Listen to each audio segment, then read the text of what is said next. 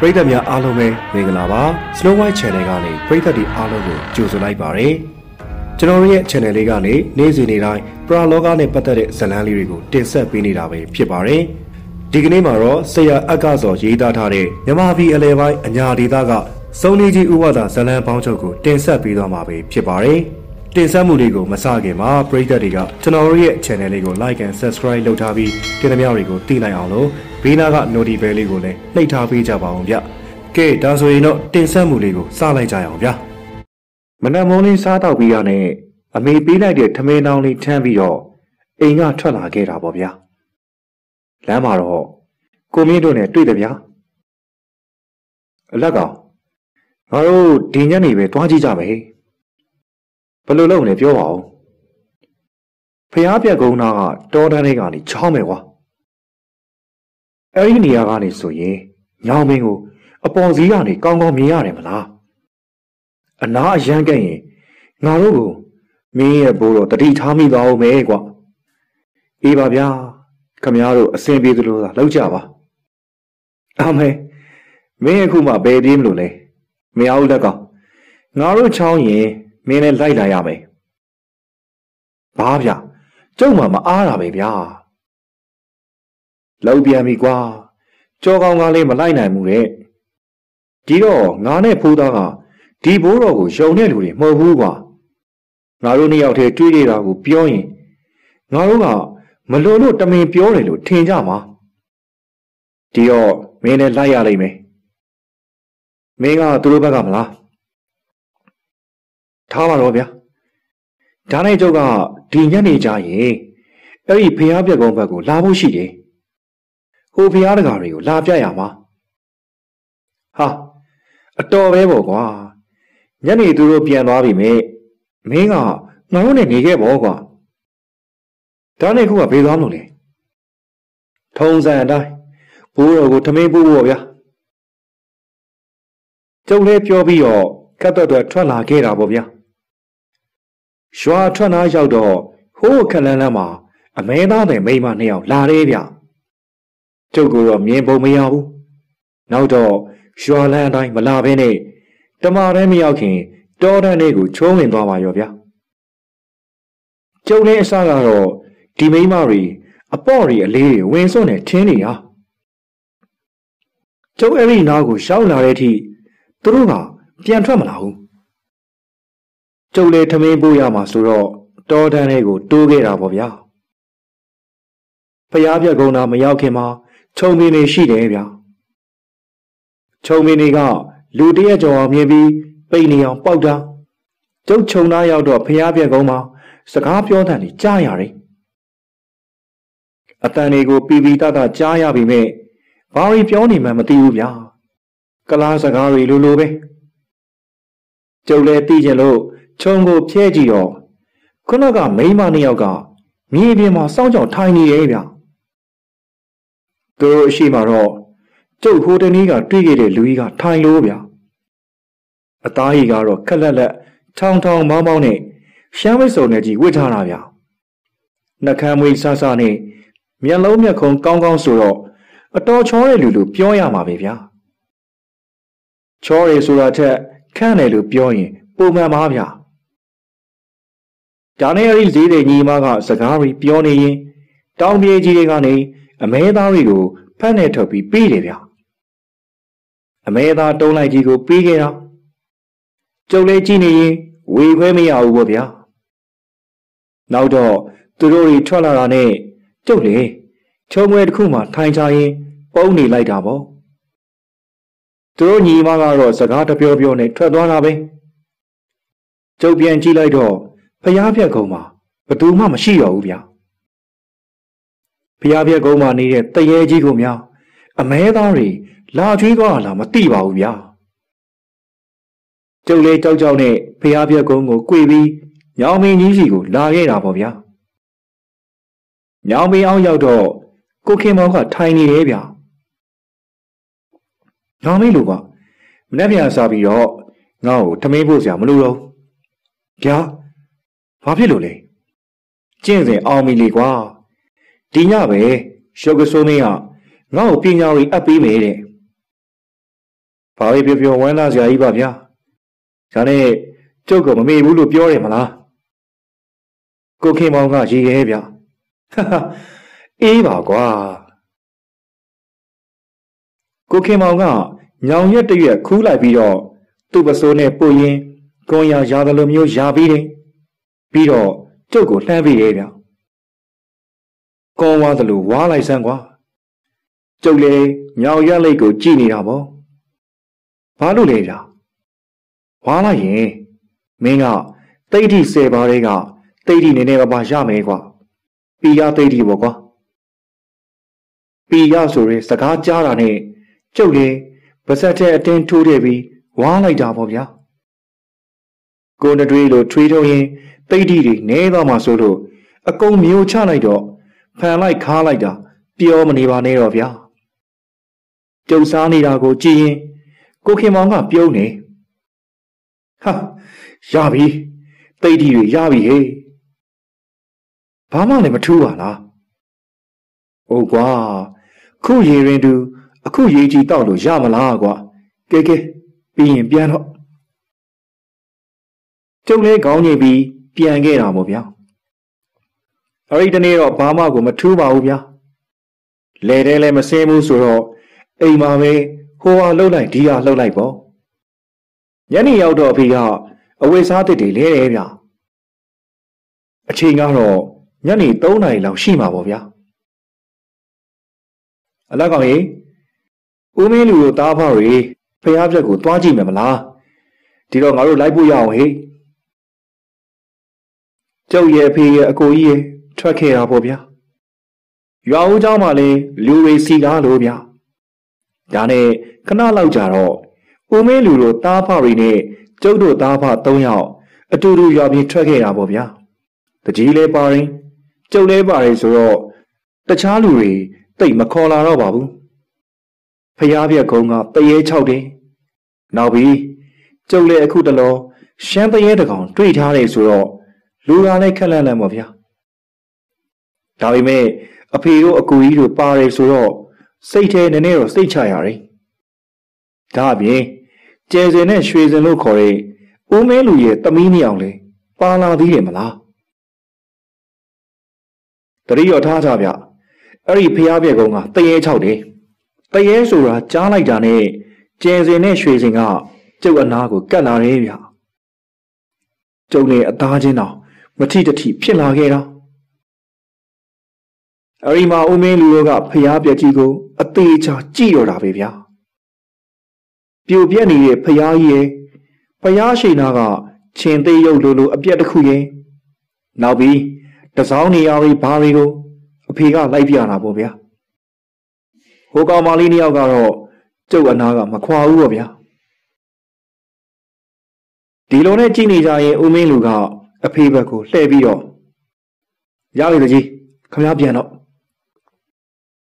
အဖေကကောင်းကြီးပြီးတော့ပြန်သွားတာဗျာကျုပ်လေအံ့ဩနေမိတာပေါ့ဦးမင်းလူကအကိုကြီးဘက်ကိုကြည့်နေရင်ဟဲ့ကောင်မင်းလည်းပြန်တော့အကိုကြီးလည်းခေါင်းကိုစက်ကနေညှိပြီးတောတန်းထဲကထွက်သွားပါရောဗျာကျုပ်လည်းထူးဆန်းသွားတယ်လေ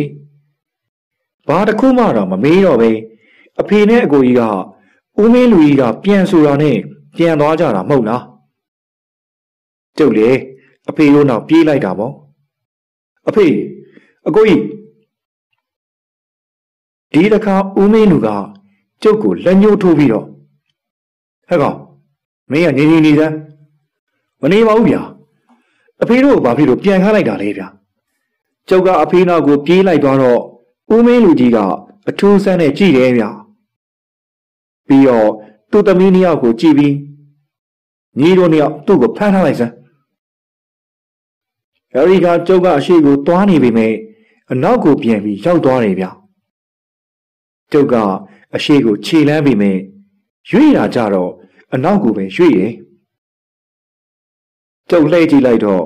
ကျယ်စင်နဲ့ရွှေစင်ကကျုပ်ကိုပြုံးကြည့်နေပြီးတော့လက်ရက်ခေါ်တယ်လာလာငါတို့စီကိုလာ ကျုပ်ခြေလမ်းနေရက်တန့်ဖြစ်လိုက်တယ်ဒါပေမဲ့ခြေထောက်တွေကတရွတ်တိုက်ပြီးတော့အဲ့ဒီကျဲစင်နဲ့ရွှေစင်သားကိုရောက်သွားရောပြုံသူတို့နှစ်ယောက်ကကျုပ်လက်မောင်းကိုတယောက်တစ်ဖက်ကင်ဖက်ထားတယ်မိမကျော်လေးနှစ်ယောက်ကကျုပ်ကိုဆွဲထားတယ်ဆိုပေမဲ့လည်းကျုပ်စိတ်ကဘာကြောင့်မှမသိသူတို့ကိုကြောက်လန့်နေမိရပဲဗျာကျုပ်ကျုပ်ဘာလို့ကြောက်လို့လဲဘာမလို့ပါဘူးကွာမင်းရှိမှ ငါတို့ခေါ်ခြင်းတဲ့သူကလိုက်လာမှာမလားနေမောင်ခမည်းတော်ကဘသူ့ကိုခေါ်มาလဲဗျာဦးမင်းလူကရေမောလိုက်ရင်ဟာဟာဥပဒါပေါ့ကွာဟာဗျာဥပဒါကိုခေါ်ချင်တာများကျုပ်ပြီးခေါ်ပြီးလို့ရရင်တန်နဲ့ဟာကောင်စကားမရှိနဲ့ကဲကောင်မလေးတွေဒီကောင်ခေါ်သွားကြ ကျုပ်ကိုကောင်မလေးတွေကဖမ်းချုပ်သွားတာဗျာကျုပ်ဖြင့်အားကုန်သုံးပြီးရုံးမိမဲ့ရုံးမရဘူးဗျာကျုပ်လည်းဒီလူတွေကတခုခုဆိုတာကိုသိသွားပြီလေဗျာဒါနဲ့စိတ်ထဲကနေဥပဒါကိုပဲခေါ်နေမိရဲ့နောက်ဆုံးတော့ဖက်လိရွာရဲ့အစွန်ရေရင်းပြက်ကြီးနာကတားတက်ကုန်းကိုရှောင်းလာခဲ့ကြတယ်အရီနီယာမှာဈေးတယ်မနှစ်ယောက်ကထိုင်နေလို့ဗျ ဟမ်ခမရတို့ဒီမှာဘာလုပ်နေကြလဲဦးမင်းလူကကျုပ်ကိုကြည့်ပြီးရှာမရှိနဲ့ကဲသူ့ကိုကြည့်ထားကြစမ်းငါအစီအရင်တွေကိုအတုံးချတော့မယ်ဦးမင်းလူကရွာဘက်ကိုလှည့်ကြည့်ပြီးတော့လက်ဟန်ချေရန်ဒီမျိုးစုံလှုပ်ရင်းပါဇက်ကလည်းမန်ဒန်ဒီရွတ်နေရဲ့ဗျဟိုးခက်လန်လန်းမှာရွာစီကိုငိုက်ဆိုင်ငိုက်ဆိုင်နဲ့ရှောက်သွားတဲ့အဖေနဲ့အကိုကြီးကိုတော့ လှမ်းမြင်နေရပါသေးတယ်15မိနစ်လောက်ကြာတော့မှဦးမင်းလူကရှက်လိုက်တယ်ရပြီအစီရင်နေအလုပ်ဖြစ်ပြီငါတို့နောက်ဆုံးတစ်ခုပဲကြံတော့ရင်အဲ့ဒါကတော့ဘာသာကိုခေါ်ဖို့ပဲမင်းတို့မခေါ်လဲငါရောက်လာပြီကွာတစ်ပင်နေကြားထဲကနေဥပဒါထွက်လာတယ်ဗျကျုပ်ဖြင့်အံ့ဩလိုက်တာပြောမနေပါနဲ့ဗျ ဥပဒါကဦးမင်းလူတို့9ယောက်ကိုကြည်ရင်အမမင်းတို့လူ9ယောက်လောက်ကငါ့ကိုနိုင်မယ်လို့ထင်လို့လားကွာဒီတခါဦးမင်းလူကြီးကရည်တယ်ဗျာဒါတော့ဥပနာကြီးကကျုပ်တို့ကိုရှော့တက်တော်သွားပြီချင်းနေဟုတ်ပါလေကျုပ်တို့9ယောက်ကဥပနာကိုမနိုင်တော့ပါဘူးဒါပေမဲ့လူမစုံသေးဘူးဗျတခြားလူတွေလည်းရှိသေးတယ် ကျုပ်ကဥပနာကိုမြင်တော့အတင်းယုံကန်နေဗျဥပနာကကျုပ်ကိုကြည့်ပြီးကျဲစင်နဲ့ရွှေစင်ကိုမျက်စောင်းထိုးလိုက်တော့ဟိုနှစ်ယောက်ကကျုပ်ကိုလှုပ်ပေးလိုက်တယ်ဗျကျုပ်လည်းဥပဒါနာကိုပြေးသွားလိုက်တာပေါ့ဗျာဥပဒါဘာတွေဖြစ်ကုန်ပြီလဲဥပဒါကကျုပ်ကိုကြည်ရင်တယ်မင်းကမပြောဘူးလားဧည့်သည်တွေလာတာထူးဆန်းနေပါတယ်လို့ ဘာတွေထူးဆန်းနေလို့လဲဥပဒါကျုပ်တော့ဘာမှမတွေးတတ်တော့ဘူးဒီအခါဦးမင်းလူကြီးကရေမောလိုက်ပြီးတော့သူ့ကောင်းကိုလက်နဲ့ကန်လိုက်တယ်နောက်တော့သူ့စပင်းကြီးဂျားတွေကိုလက်နဲ့စမ်းနေသေးတယ်ပြီးတော့လက်ကိုဆွဲထုတ်လိုက်တော့အက်တချောင်းပါလာတယ်ဗျဦးမင်းလူကအက်ကိုဆွဲထုတ်လိုက်တာနဲ့သူ့ပုံစံကြီးကပြောင်းသွားတာပဲဗျာကျုပ်လေဦးမင်းလူရုပ်ကိုတေချာကြည့်ပြီးတော့မှ မျက်လုံးပြူးသွားတော့တာဟာခမရခမရဆန်နာလာဦးလေးကြီးပဲဒီလိုဆိုတော့လေမင်းကငေါ့မှတ်မိတာပဲဆန်နာလာဦးလေးကြီးကကဝေပြန်ကြီးလေဗျာကျုပ်ဝမ်းတော်စေးကြီးမတရားကျွေးလိုက်လို့ဝမ်းလျှောပြီးတော့ပြန်ပြီးသွားတယ်သူကြီးပေါ့ဒါဆိုသူ့သမီးနှစ်ယောက်ဆိုတာဟာရောကျုပ်လေသမီးနှစ်ယောက်ကိုကြည့်လိုက်တယ် ကျဲစင်နဲ့ရွှေစင်တွေကသူတို့ခေါင်းထဲကအပ်တွေကိုထုတ်လိုက်တယ်ဗျဟာဘလူးမကြီးဟဲ့ကောင်လေးငါနာမည်ကျင်းကြီးလေသွေးလော်ဝါကျင်းကြီးညနာကဘလူးမျက်နှာကြီးနဲ့ကျင်ရီဖြစ်နေတယ်ဗျသွေးလော်ဝါကျင်ရီဆိုတာဈေးစီရဦးမကြီးကိုအသေးသက်ဖို့လှုပ်ခဲ့တာမလားကျုပ်လည်းအဲ့ဒီတော့မှတွေးမိတယ်ဗျမနေ့ကရေခက်ပြီးပြန် သူတို့ညီမစကားပြောနေတော့အငယ်မကကျဲစင်ကို အမကြီးလို့ခေါ်လိုက်ကြမလားအမကြီးဆိုတာကျင်ရီကိုအဖျားဆွတ်ခေါ်တာဖြစ်လောက်တယ်ကျုပ်အံ့ဩနေတော့မှပဲဘဘေးနားကရွှေစင်ဆိုတဲ့မိန်းကလေးကလည်းအနူကြီးတယောက်ဖြစ်သွားတယ်ဗျာနှာခေါင်းထိပ်ကြီးပြက်ကျနေပြီးတော့မျက်နှာမှာလည်းတနခါတုံးကအပွေးတွေလမ်းတယ်လို့မျိုးအနူတွေဆွဲနေတာဗျာကျုပ်ဖြင့်သူ့ကိုမြင်ပြီးတော့ အန်ကျင်လိုက်တာပြောမနေပါနဲ့တော့ခမရကိုကြုတ်တည်ရဲ့ခမရကအောင်လန်းဘာတော်ရဲ့မိမဆုံးပါလိမ့်မလားကျုပ်ကိုနူအောင်ဆိုပြီးပညာစမ်းနဲ့လှုပ်ထလိုက်တာကျုပ်ကဥပဒါလှုပ်ပေးထားတဲ့တံပြန်အစီရင်နဲ့မလို့ခမည်းရဲ့ပညာခမည်းကိုပြန်ထီပြီးတော့နူသွားတယ်မလားကောင်မလေးကကျုပ်ကိုဒေါသတဝေဝေထွက်နေတဲ့မျက်စောင်းထိုးပြီးကြည်နေတယ်ဗျ ဒီတော့ကျုပ်ကဈေးတဲ့ညီမဘက်ကိုလှည့်လိုက်ပြန်ရောခမည်းတော်ကဘာတူတွေလဲဥပဒါကကျုပ်ကိုကြည်ရင်မင်းတို့နှစ်ယောက်ကိုအမှတ်မိဘူးလားငါနဲ့ပညာပြန်ရင်ရှုံးသွားတဲ့ဒွေးချောင်းရွာကမိအေးနဲ့မိသေးစုံညီမလीကွာဟောမှတ်မိပြီဒါကြောင့်ကျုပ်လည်းသူတို့ကိုမြင်မှုတလို့ပဲလို့ထင်းနေတာပူပူဝဝတွေကမိအေးပိန်ပိန်ရှိရှိကမိသေးမလား မိအေးနဲ့မိသေးကကျုပ်ကိုမဲ့ရပြီးတော့ကြည်နေကြတယ်ဥပဒါကခါထောက်လိုက်ပြီးတော့ဒါပဲလားကွာကျမကြံသေးတယ်ဥပဒါပြောလိုက်တော့ကျုပ်တို့အနောက်ကနေအတန်ကြားလိုက်ရတယ်ဗျ။သပင်ရှည်ကြီးနဲ့မိန်းမတယောက်ကရေအိုးလေးပိုက်ပြီးတဖြည်းဖြည်းနဲ့လမ်းလျှောက်လာတယ်ဗျ။လမ်းလျှောက်လာရင်သူ့ပုံစံကတဖြည်းဖြည်းပြောင်းလဲသွားတယ်။ ကျုပ်လေးကြည့်ပေမဲ့သူ့ကိုမှတ်မိဘူး။ဒါနဲ့ဥပဒါကိုလက်ကုပ်ပြီးတော့သူကဘာသူလဲဥပဒါ။ဘာသူရှိအောင်လဲကွာ။မြိုင်သာကနာဂဝန်တာရင်မြလေ။ကျုပ်သိလိုက်ပါပြီမယေများဆိုတာကျုပ်တို့ခရီးထွက်တော့ကျုပ်ကိုမလိန်တပတ်နဲ့ခေါ်သွားပြီးတော့သူ့အိမ်မှာဥပဒါနဲ့ပညာပြိုင်ခဲ့သေးရမလားစပင်းရှိကြီးတွေ့ရတဲ့ကကျုပ်မှတ်မိလိုက်ရမှာဗျ ဒီအချိန်မှာပဲကောင်းကင်မှာကြီးအုပ်ကြီးတအုပ်ပြန်တန်းလာတယ်ကြီးတွေကအကောင်90လောက်ရှိမေးဗျကောင်းကင်တစ်ခွေမှာဝိဝိုက်ပြန်တန်းနေရင်းနဲ့နောက်ဆုံးတော့မြေကြီးပေါ်ကိုအုပ်စုလိုက်ကြီးထိုးဆင်းလာတယ်ဗျာအဲ့ဒီကြီးကန်းတွေကမြေကြီးကိုထိသွားတာနဲ့အဖွားကြီးတယောက်ပြေပြောင်းလဲသွားတော့တယ်နင်တို့ငါ့ကိုရောမေ့နေကြပြီလားမမေ့ပါဘူးဒေါ်ဥစားရဲ့ ဥပဒါကပြန်ပြောလိုက်တော့ဒေါ်ဥစားကြီးကဒေါသထွက်သွားတယ်ငါ့ကိုအဲ့ဒီလိုမခေါ်နဲ့ခမရတလောက်အသက်ကြီးနေပြီးရောသပင်းနေဖြူပြီးသွားရီကျိုးနေတာတော့မှအိုစာလို့ခေါ်တာမကြိုက်ဘူးလေလားဥပမာကထေပြီးပြောလိုက်တော့ဘွားတော်ကြီးတော်တော်ဒေါသထွက်သွားတာဗျမရင်များကလက်ဆွဲထားတော့မှသာငြိမ်ကြသွားတာဒေါ်ဥစားဆိုတာကတော့ကျုပ်တို့ကားစီးနေတဲ့ချိန် ကားပေါ်ထိလိုက်ပြီးပညာပြိုင်သွားတဲ့ဘွားတော်ပေါ့ဗျာသူ့စင်ကလည်းမသေးဘူးဗျာသူကလည်းကားကစောကနေမဟုတ်လားဒါနဲ့စန္နာလကဝေပြန်ရင်သွေးလော်ဝါကျင်းရင်စုံမလေးရင်မိအေးနဲ့မိသေးညီအမနာဂဝန်သားမက်ရည်များနဲ့ဒေါ်ဦးသာစုစုပေါင်း9ယောက်ရှိသွားပြီပေါ့ဗျာ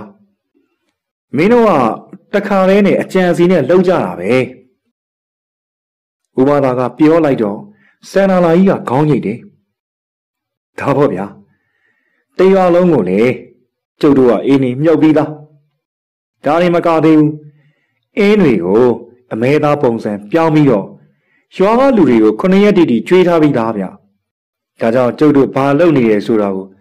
ရွာကလူတွေကသိလဲသိမှာမဟုတ်ဘူး။မြင်လဲမြင်မှာမဟုတ်ဘူး။ကြားလဲကြားမှာမဟုတ်ပါဘူးဗျာ။ ကျုပ်လည်းအတော်မျက်လုံးပြူးသွားတယ်ဗျာ။ဒါကြောင့်ကိုဗျာ။ဒါကြောင့်အမေကအမဲသားဟင်းကိုစွန်းတော်ကတ်လိုက်တိုင်းအသားတုံးနေပျောက်ပျောက်သွားတာကို။ကျုပ်လည်းထင်နေပြီးသားပါတဲမြင့်ရွာနဲ့ဒီနေ့ကရှက်မိုင်တော်ဝေးရောက်ခမည်းတော်ညီမနှစ်ယောက်လာရောက်တဲ့အမဲသားတွေကသွေးစိမ့်လက်လက်နဲ့ရှိနေသေးတာကိုကျုပ်ကရိတ်စားမိပြီးသားမိကြီးကပြုံးလိုက်ပြီးတော့ ဒါနဲ့များစားကောင်းကောင်းနဲ့စားတာပဲမလားကျုပ်လည်းခေါင်းငိမ့်လိုက်တော့တယ်ဗျပြီးတော့ဥပဒါဘက်ကိုကြည့်လိုက်တယ်ဥပဒါဘလို့လဲဗျာဥပဒါကဘာမှတော့ပြန်မပြေဘူးဗျ။ဒါပေမဲ့အခြေအနေကတော့သိဟန်ပုံမရဘူးထင်တယ်။ကျုပ်လေဥပဒါကဘာမှမဖြေရနဲ့ဥပဒါနာကိုကတ်လိုက်တော့ဥပဒါကကျုပ်ဆက်ဘိုးကိုလက်နဲ့ရှိုက်ထလိုက်တာဗျာ။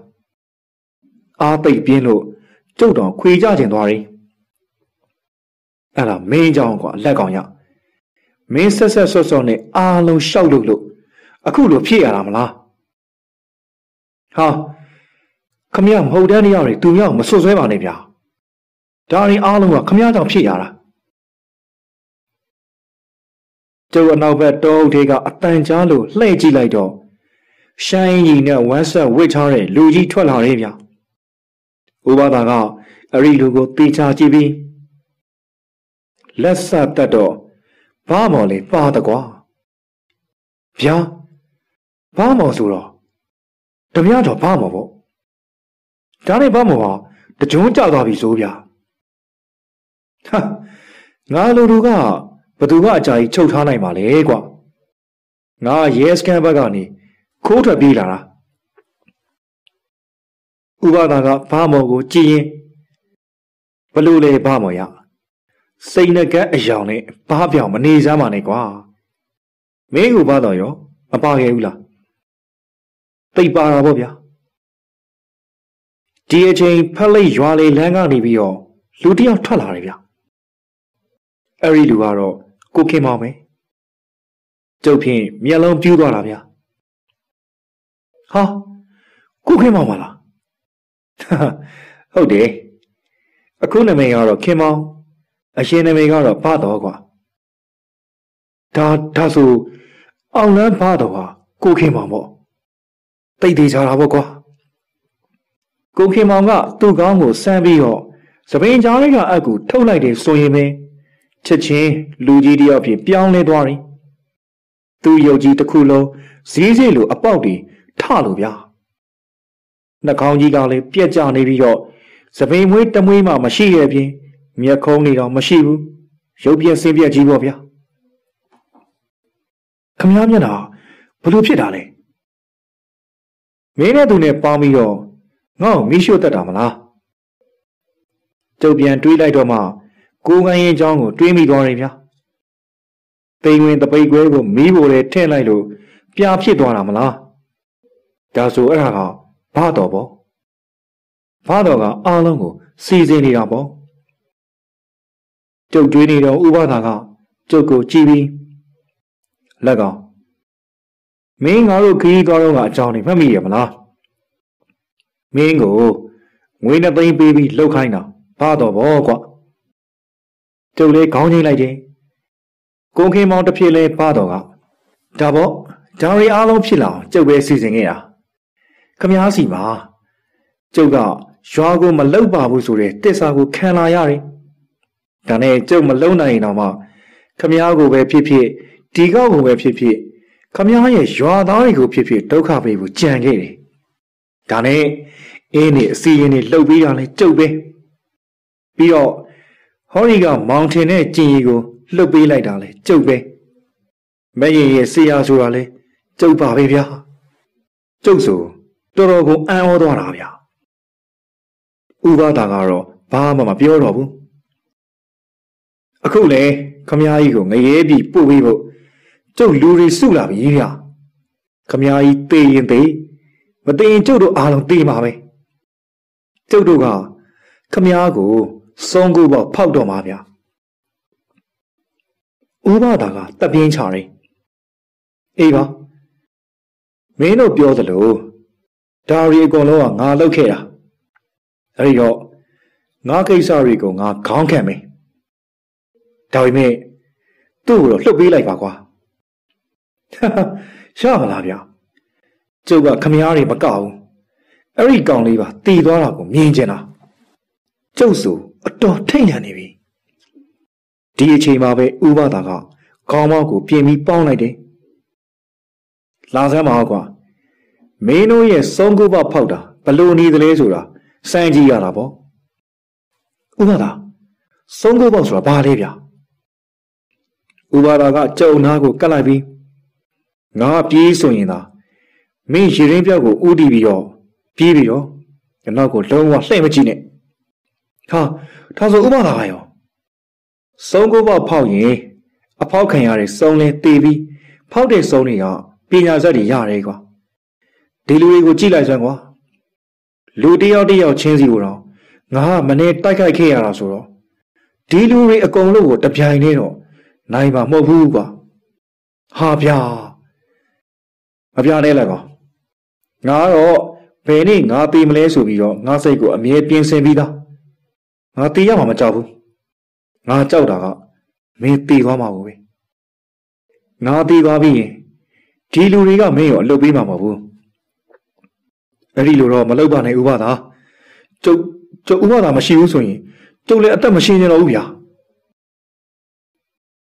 ဥပဒါကကျုပ်ပခုံးကိုပုတ်ရင်ငါပြောမယ်လက်က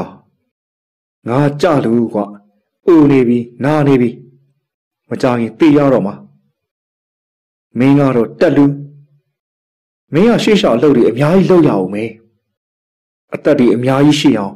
နေနိုင်အောင်မှာကွာ ဒီတော့မင်းသိတယ်ဆိုတာဘာမှမတန်ပါဘူးကွာငါအလွန်ဆုံးနောက်ထပ်နေရ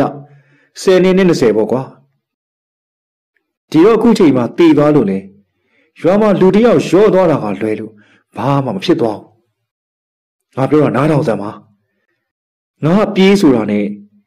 မင်းဟုတ်ကရေရင်းပြက်စီကိုသာဥတီးပြီးတော့ပြေးတော့ခမရတို့လူသေးအချင်းချင်းဘာတွေပြောနေကြလဲဗျကဲရင်မြရေစလိုက်တော့ ဒီအချိန်မှာပဲဒေါ်ဦးစာကြီးကမိုးပေါ်ခုန်တက်သွားတယ်ဗျမိုးပေါ်ရောက်တော့ကြီးကနေဖြစ်သွားတယ်ကြီးကန်းတွေကဥပဒါခေါင်းပေါ်မှာဝဲပြန်နေရင်သူတို့ခေါင်းပေါ်ကနေလေအလင်းရောင်တွေတက်လက်လက်နဲ့လှမ်းပစ်တယ်ဗျဥပဒါကြီးကတော့လက်ဝါးနှစ်ဖက်နဲ့လိုက်ပြီးကာနေတော့တာပဲဒီအချိန်မှာမယင်များကသူ့သပင်ကြီးကိုဖြေချလိုက်တော့သပင်ရှင်ကြီးက မွေးနေကြီးတကောင်ဖြစ်သွားပါရောဗျာမွေးကြီးကောင်းပေါ်မှာလည်းအဖြူရောင်မော်ကြီးတစ်ခုပါတယ်ကျုပ်ထင်တော့ရိုးရိုးမွေမှုတ်ပဲမွေးနဂါးကြီးဖြစ်မှာပေါ့ဗျာမွေးကြီးကဥပါဒနာကိုတွားပြီးဥပါဒါကိုစက်ကနေပေါက်လိုက်တာဗျာဥပါဒါကခြေထောက်ကိုအသာရှောင်ပြီးတော့မွေးကောင်းကိုခြေထောက်နဲ့နင်းထားတာဗျာမွေးကြီးကမလုံနိုင်တော့ပဲ မြေပြင်မှာပြားကပ်နေအောင်ဝိနေတော့တယ်မွေးကြီးအမိကမက်ရင်များရဲ့သပင်နေနဲ့ဆက်နေတာဆိုတော့မက်ရင်များလေတန်းတန်းကြီးဖြစ်နေတာပေါ့ဗျာမိသေးနဲ့မိကြီးကလည်းစက်တွေနဲ့ပြစ်ပါရောဥပါဒါကဘာရီရွတ်တလဲတော့မသိဘူးပြုတ်ဆက်လက်နဲ့တွေကသူ့ကိုမထီပင်အနားရောက်သွားတာနဲ့အားပြော့ပြီးမြေပေါ်တပုတ်ပုတ်ပြုတ်ကြတာပဲ သွေးလောဝါကြင်ကလှစ်ကနေပြေးလာပြီးတော့ဥပါဒါနှစ်ဖူးကိုလုံဝါးနဲ့ပိတ်ရိုက်တာပေါ့ဗျာဥပါဒါကအသာရှောင်လိုက်ပြီးတော့ကျင်ရဲ့နှစ်ဖူးကိုလက်ဝါးနဲ့ပြန်ရိုက်ထလိုက်တယ်ဒီအချိန်မှာပဲမိုးဘော်ကဒေါ်အိုစာပြစ်နေတဲ့ဆက်လက်နဲ့တွေကကျင်ရီရဲ့ကြောကုန်းကိုထိပြီးတော့ကျင်ရီတယောက်လဲကျသွားတော့တာပဲဗျာ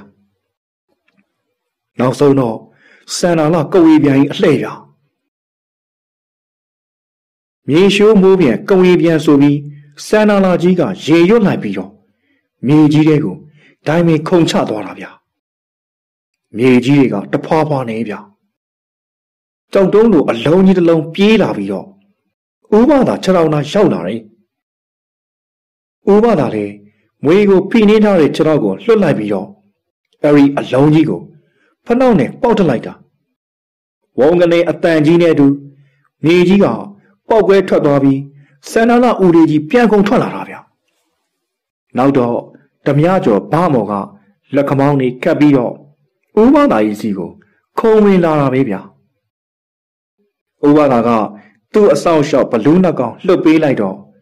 ဘလူးတွေနဲ့ဘားမုံနဲ့လုံးကြထွေးကြပေါ့နောက်ဆုံးကြံနေခဲ့တဲ့လူကတော့ ဘာတော်ရဲ့မိမစုံမလေးပဲဗျာစုံမလေးကဥပဒါကြီးစီကိုပြေးမသွားဘဲနဲ့ကျုပ်စီကိုပြေးလာတယ်ပြီးတော့ကျုံရင်ဘက်ကိုလှဝါးနဲ့တွန်းထလိုက်တယ်ကျုပ်လည်းတကိုယ်လုံးပူထူပြီးတော့ဘလို့ကြီးဖြစ်သွားသလဲမသိပါဘူးဗျာဒါနဲ့တပတ်လေပြီးမြေပြင်ပေါ်ကိုမှောက်ခုံကြီးလဲကျသွားတော့တာပဲလက်ကောင် ဦးမသာကအော်ပြီးတော့ကျုပ်စီပြေးလာရေးဗျာကြံတဲ့သူတွေလည်းတိုက်ခိုင်းနေတာတွေခဏရက်လိုက်ကြတာပေါ့ကျုပ်လေမှောင်လျက်သားနဲ့လဲကြနေရကနေကုန်းပြီးထတယ်ဗျာ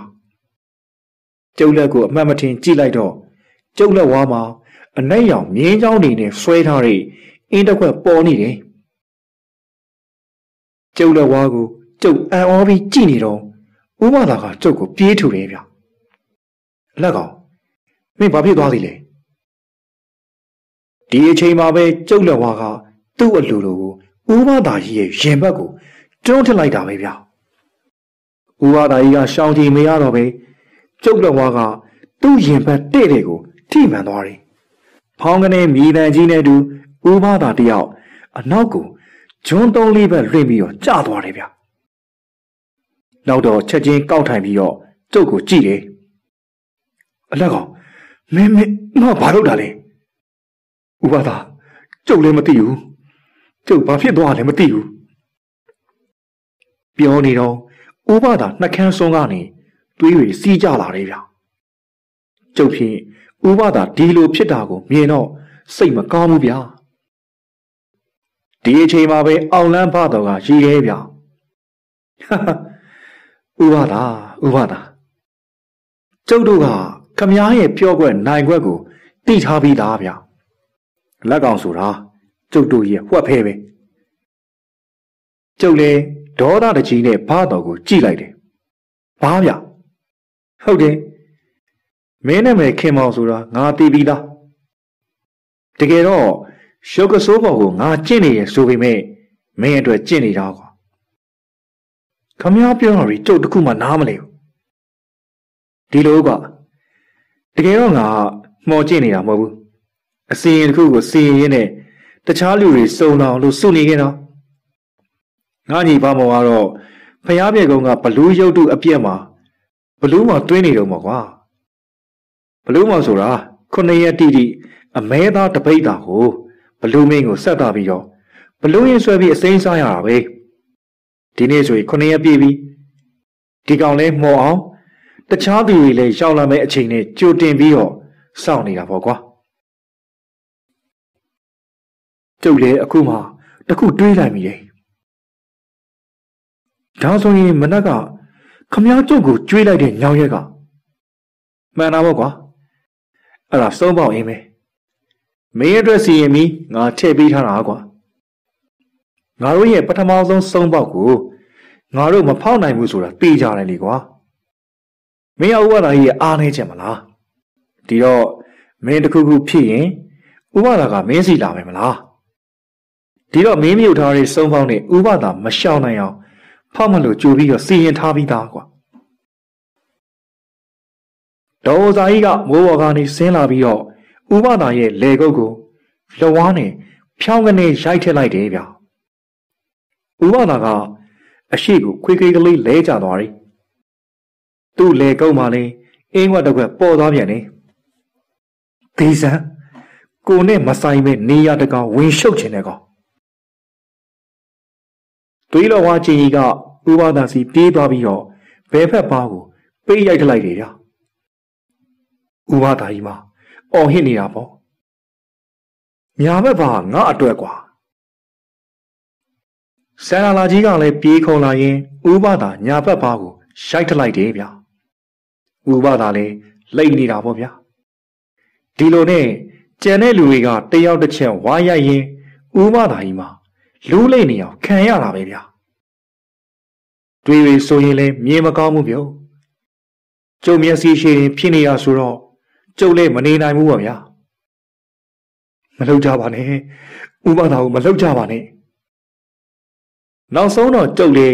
ဥပဒါပေါ်ကိုပြေးပြီးကိုလုံးနဲ့အုပ်ထားလိုက်တယ် အကောင်လုံးတယောက်တစ်ချက်ရိုက်ပြီးတော့စုံးအပေါက်လို့ခေါ်တဲ့အင်းတွေဖောက်ထားကြပြီးပေမဲ့ဘာတော့တယောက်ဖောက်ဖို့ကြံသေးတယ်ဗျာသူမိမဆုံးမလေးကစုံပညာမရှိရောလို့မဖောက်ဘူးဗျာဒီလိုနဲ့ဘာတော့ကကျုပ်အနာကိုရှောက်လာတယ်လက်ကောင်ရမင်းကသူ့ကိုကာဝယ်ပေးနေသေးရဲ့လားဒီမှာရဥပဒါကိုပထမဆုံးစုံးပေါက်ဖောက်ဖို့ကူညီတာကမင်းကွာ အဲ့ဒါခမည်းတော်လှုပ်တာအဲ့ဒါခမည်းတော်လှုပ်တာဟုတ်ဗျာဘာပြောပြောမင်းကကူညီရတဲ့အတွက်ကျေးဇူးတင်ပါတယ်ကွာဒီစုံကြီးတင်ရင်မင်းလည်းသူ့စီဟာပညာနည်းနည်းပါးရမှာပါကွာမလုပ်ပါနဲ့ဗျာကျုပ်ပညာတွေဘာတွေမလိုချင်ဘူးဒီတော့ဘာတော်ကကျုပ်ကြောကုန်းကိုလက်ညှိုးထိုးပြီးတော့ပြောတယ်ဗျာလက်ကောင်ဖယ်ပေးစမ်း ကျုပ်စိတ်ကမဖယ်ပေးခြင်းပေမဲ့ကိုလုံးကတော့သူ့အလိုလိုကုန်းထလာတာပဲဗျာကျုပ်ဖြင့်ထူးဆန်းနေတော့တာပဲမင်းကအမဲသားခုနှစ်ရဲ့စားထားတယ်မလားဒီတော့မင်းကိုလည်းငါတို့စိတ်တိုင်းကြထိန်းချောင်းလို့ရပြီပေါ့ကွာကဲခလန်လန်ကကြည်နေစမ်းသူပြောတဲ့အတိုင်းကြုတ်ချက်တော့တွေကရွေ့သွားတယ်ဗျနောက်ဆုံးတော့ဘာတော်ကဥပဒါကိုစိတ်တိုင်းကြ ခြေထောက်တွေနဲ့ကန်ကြောက်နေသေးတာတေးစမ်းဖိုးကြီးကို့နေရာကိုအေးအေးဆေးဆေးမနေခြင်းတဲ့အဖိုးကြီးတေးစမ်းဥပဒါခမပစိုးရီဘာရီကျွတ်ပြီးတော့ဘာတော်ကံသမားကိုခံနေရတယ်ဗျကျုပ်ကလည်းကူညီခြင်းပေမဲ့ဘာမှလုပ်မရဘူးဗျဥပဒါအော်ဟစ်လူလိမ့်နေတာကိုပဲရင်နာနာနဲ့ကြည့်နေုံပဲနောက်တော့အောင်လန်းဘာတော်က ဥပဒါကြီးကိုဆွဲထူတယ်ဗျဥပဒါကိုသူ့အရှိမဒူးထောင်ထိုင်ခိုင်းပြီးကျုပ်တို့ကိုတောင်းမယ်ရင်ခမကြီးကို အသက်ရှင်ခွင့်ပေးမယ်ဥပဒါကဒီလောက်ခံထားရတဲ့ဂျားတွေကဘာတော်ကို ပေဆောင်ဆောင်နဲ့ကြည်တယ်ဗျငါမင်းတို့ဘာလုပ်ထားလို့ပြန်ပြီးတောင်းမှရမှာလဲကွာဟာခမကြီးကျုပ်တို့ကိုလှုပ်ထားတာကို တကယ်မသိကြအောင်စောင်းနေရလားကျုပ်ကိုကြည်စမ်းကျုပ်မျက်ခွက်ကိုကြည်စမ်းကျုပ်ဒီလိုဖြစ်အောင်ခမကြီးလှုပ်တာမဟုတ်လို့ဘသူလှုပ်ခဲ့ရလဲမင်းတို့မကောင်းကြံလို့မင်းတို့တန်နေမင်းတို့ပြန်ခံရတာပဲငါနဲ့ဘာမှဆိုင်ဘူးငါဘတော့မှသူ့တပားကိုမကောင်းတဲ့စိတ်နဲ့မလှုပ်ခဲ့ဘူးငါလှုပ်တာတွေကလူတွေကောင်းဖို့ငါရွာသားတွေကောင်းဖို့အတွက်ပဲလှုပ်ခဲ့တာ ကောင်းပြီဒီလောက်တောင်ကောင်းချင်နေရင်လေငရဲကြမှာလူကောင်းသူကောင်းတွားလို့ဗျာအောင်လန်းဘာတော်ကသူ့လက်နဲ့ဦးမသာကြီးရဲ့နဖူးကိုအုပ်ကန်လိုက်တယ်ဗျာပြီးတော့မန်တန်ကြီးရွတ်ပါလေရောဗျာညနေဆောင်နေလို့နည်းနည်းမှောင်နေတဲ့ကောင်းငင်ကြီးကပြုံးစားကြီးအမောင်တို့တွေဖုံးအုပ်သွားတယ်ဗျာကျုပ်တို့တနေရာလေးကွက်ပြီးအုပ်သွားတာညတကောင်အချိန်လောက်ကို ပိမ့်ပိတ်အောင်မှောင်သွားတော့တာပဲဗျာနောက်တော့မိုးပေါ်မှာတိမ်တွေဖွဲ့လာတယ်ဗျာတိမ်တွေကြားထဲမှာလေလျှက်ပန်းလျှက်နယ်တွေကတဖြက်ဖြက်နဲ့ဝင်းလန့်နေသေးတယ်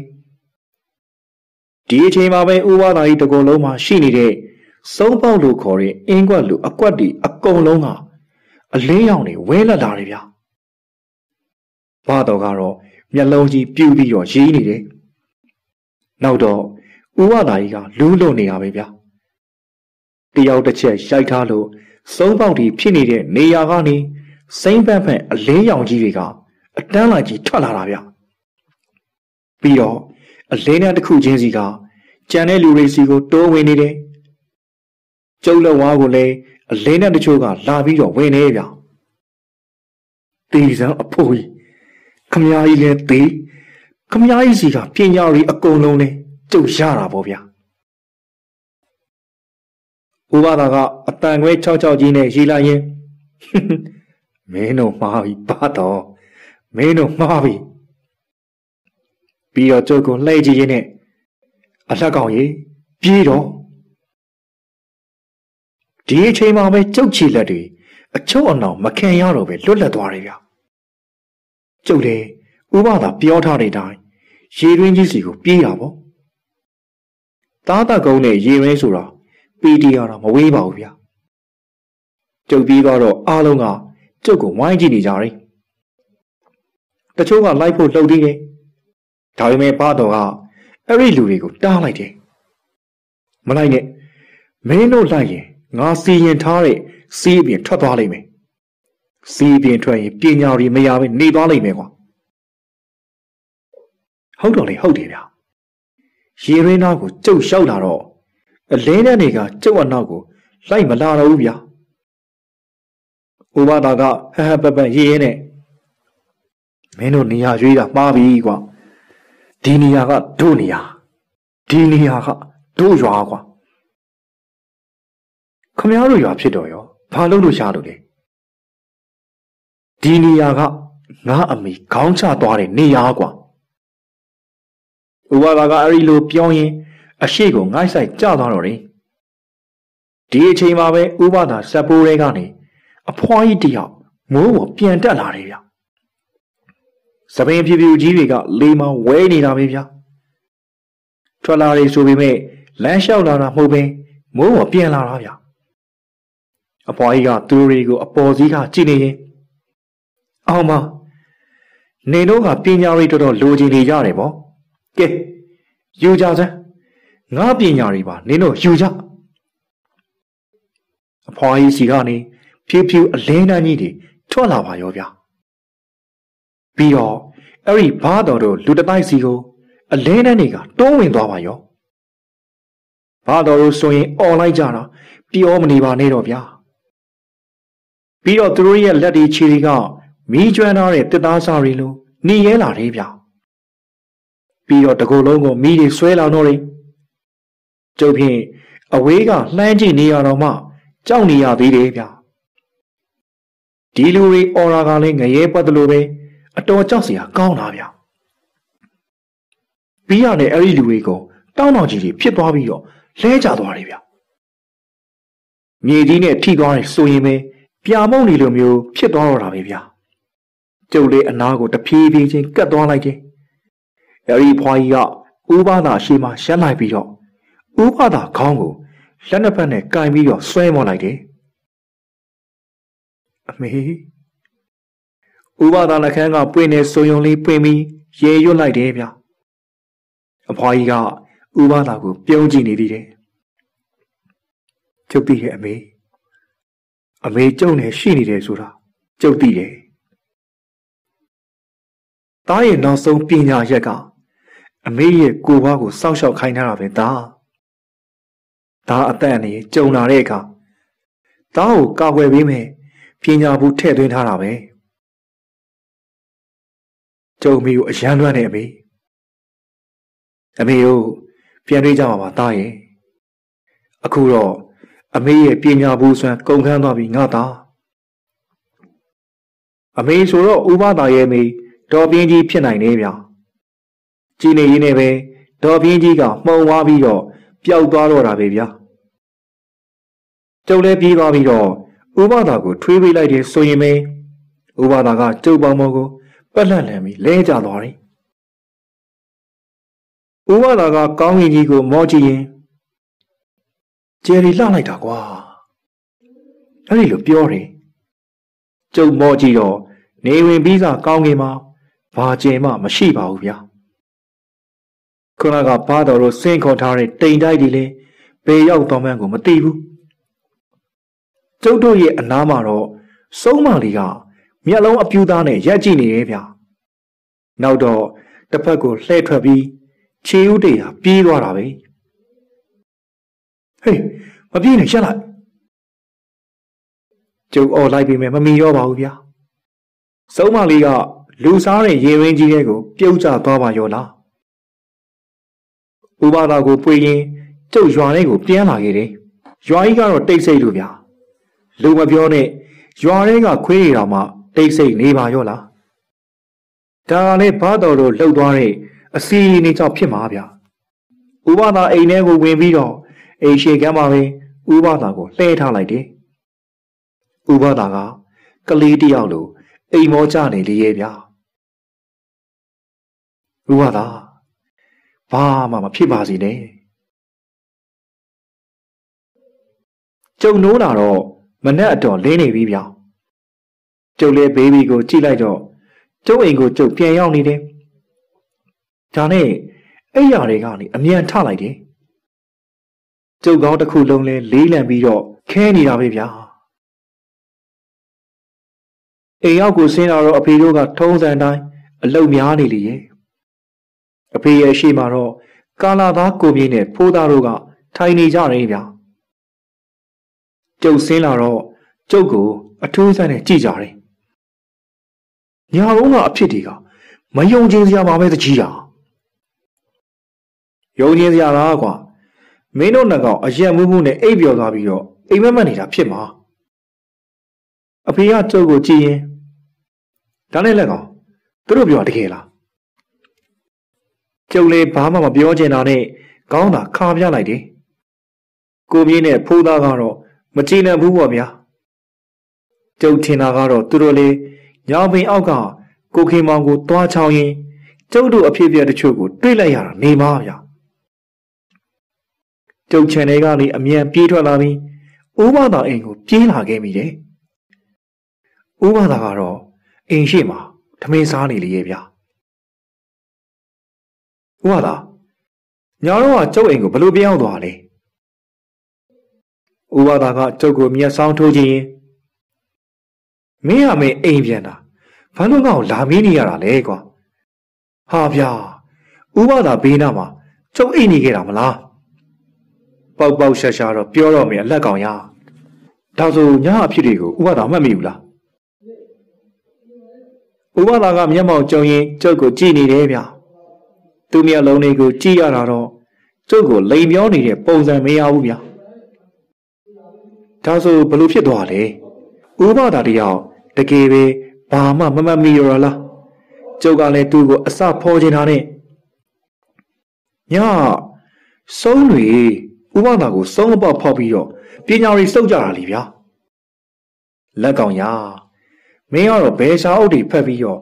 လာပြောနေပြန်ပြီလေမသိပါဘူးပောက်ခေရရီ တကယ်ပဲဥပဒါဘာမှမသိရဘူးလား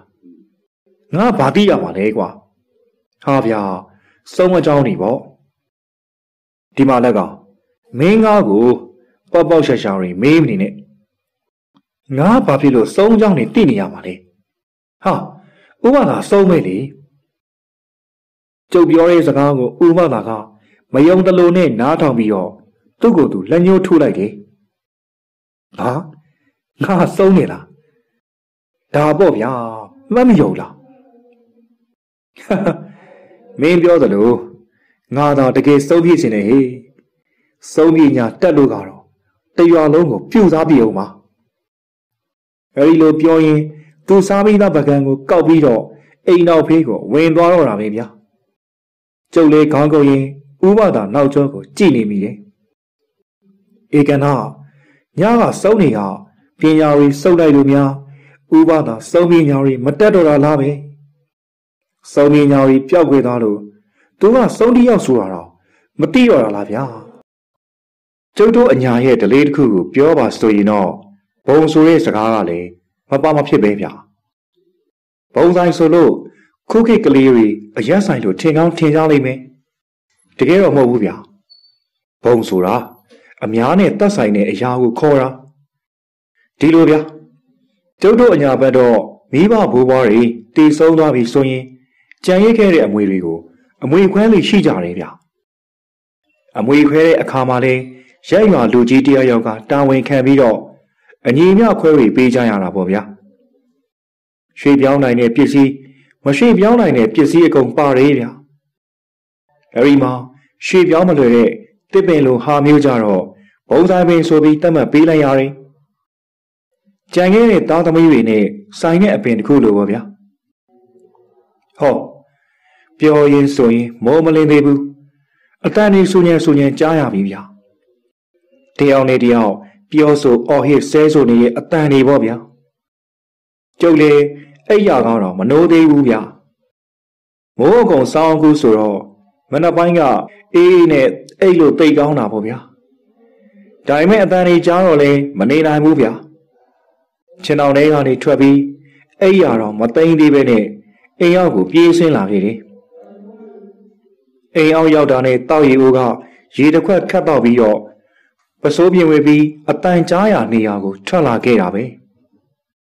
ကျုပ်ကဆက်စုရလို့တော့မထင်နဲ့ဗျာရွာမှာတကူခုဖြစ်လာပြီဆိုရင်အဖေကဝင်မပါတတ်ဘူးအထူးသဖြင့်ရန်ဖြစ်တာမျိုးပေါ့ဗျာတကြီးရောက်လာတယ်ဆိုတော့မှ ဖြည့်ရှင်းရပိုခတ်သွားတတ်တာပဲဒါကြောင့်ရန်ဖြစ်တဲ့ကြားနေဆိုရင်ကျုပ်ကပဲရှေ့ရောပြီးထွက်ကြည့်ရတယ်တခါတလေတော့နှုတ်နှစ်ဖက်စိတ်ကြိုက်ဆဲဆိုပြီးရန်ပွဲပြီးသွားတာပဲတခါတလေရောလဲယောက်ျားသားနှစ်ယောက်တချီတမောင်းထိုးကြတာပေါ့ဗျာပြီးတော့လေဆွေမျိုးသားချင်းတွေဆိုတော့သွေးလိမ့်လိမ့်ပေနေတဲ့တွားတွေဖြဲပြီးပခုံးပတ်ပြီးပြီးသွားတာတွေလည်းရှိတယ် အဲ့တော့ကမှမကြည်နှံ့လို့တကြီးစီတိုင်မယ်တောမယ်ဆိုမှသာအဖေကဝင်ပါရတော့လားလိန်မယားရံဖြစ်တာလောက်ကတော့သူ့လင်သူ့မယားမကြည်နှံ့လို့ထားတတ်ချင်းတက်ကြပါစေအဖေကဝင်မပေါင်းဘူးညာဂျားသုံးကြားမဝင်ကားမှုဆိုတာထင်ပါတခါသားကလည်းသူများလင်မယားကြအဝင်ကောင်းလို့ကျုပ်ဒုက္ခရောက်တာလဲကြုံတော့ဖောက်တဲ့ချရအောင်မဲဗျာ ရွာစုံကကိုကြွက်နေဆိုတာဘိုးဘွားပိုင်ချမ်းပင်တွေကိုကိုဘာသာကိုတက်ပြီးထရီတောက်တတ်တဲ့လူပေါ့ဗျာသူအချမ်းကိုစီးပွားဖြစ်တက်မစားဘူးဗျာစိုက်ချိန်ပြိုးချိန်ဆိုရင်တော့လေဆိုင်ရာဆိုင်စားတယ်ဘာမှစိုက်စရာမရှိရဲ့နှွေရသည်လို့အချိန်မှသာအိမ်ရှိမှာချမ်းလာတိတ်ထိုးပြီးထရီရောင်းစားတာပေါ့ဗျာကိုကြွက်နေကတွေးဆိုးတယ်ဗျာ တရက်တော့ထရီမူးပြီးတော့မိန်းမနဲ့စကားများပါရောဗျာစကားများပြီးတော့သူ့မိန်းမကိုအိမ်ပေါ်ကနေဆွဲချပြီးပါးရီနားရီရိုက်တာပေါ့ဗျာထုံးစံတိုင်းရွာရင်းအတန်ကြားပြီဆိုတာနဲ့ရှေ့တော်ပြီးကျုပ်ကပြေးရတော့တာပဲဗျာလူတွေကတော့ဝိုင်းအောင်နေရောလားထမ်းမီအောင်မှာကိုကျွတ်နီကသူ့မိန်းမကိုရိုက်လိုက်နှက်လိုက်တထောင်နဲ့ထောင်းလိုက်နေပေါ့ သူ့မိန်းမလည်းမျက်နာရီအညိုမဲရီဆွဲနေပြီဒီအချိန်မှာပဲကိုကျွတ်နီကဘာမပြောညာမပြောနဲ့ဝရင်တို့ပြေးဆွဲတာပဲဗျာရွာသားတွေကတော့អော်ကြတာပေါ့ဗျာဟဲ့အောင်ကြွတ်နေလွန်မယ်နော်ကြွတ်နေမိမိမတေသွားမယ်အလိုဆိုပြီးអော်ကြတာပေါ့ကိုကြွတ်နေကတော့ပြောနေတဲ့လူတွေကိုဘာမှအရေးမလုပ်ပါဘူးဗျာ လူတွေကမစမ်းနဲ့អော်ပြီးမဲ့တကယ်ရောက်သွားတာကကျုပ်ဗျာကျုပ်လေဒီလောက်မိမကိုနှိပ်စက်တဲ့လူကိုကြည့်မိရတာနဲ့အနားမှာကြနေတဲ့ထမ်ပလက်လို့ခေါ်တဲ့တလက်အယိုးကြီးကောက်ပြီးကိုကြွက်နီကိုဝင်ရိုက်တာပဲဗျာနှစ်ချက်လောက်ပဲရိုက်ရသေးတယ်ကိုကြွက်နီတယောက်မှောက်သွားပါရော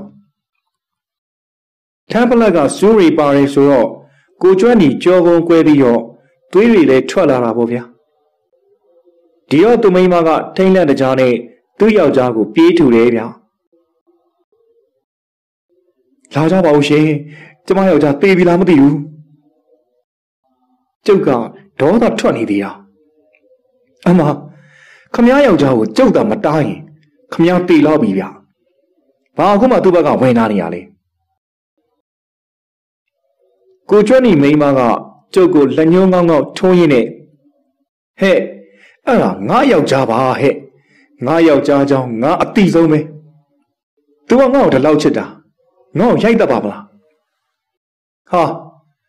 ခုနကဝရင်တို့ပြေးကောက်တာမတွေ့ဘူးလားသူကအဲ့လိုပဲဟဲ့သွားပါပြီဟဲ့နင်လောက်တာငါယောက်ျားတခုခုဖြစ်ကြည့်နင်ကိုမြို့တက်ပြီးတော့လူရိုက်မှုနဲ့ရဲနိုင်မယ်လက်ကောင် ကျုပ်ဖြင့်မျက်လုံးကိုပြူးသွားတာပဲဗျာကိုကျွမ်းနီမိန်းမကတော့သူ့ယောက်ျားဖက်ပြီးငိုလို့ပေါ့ဗျာ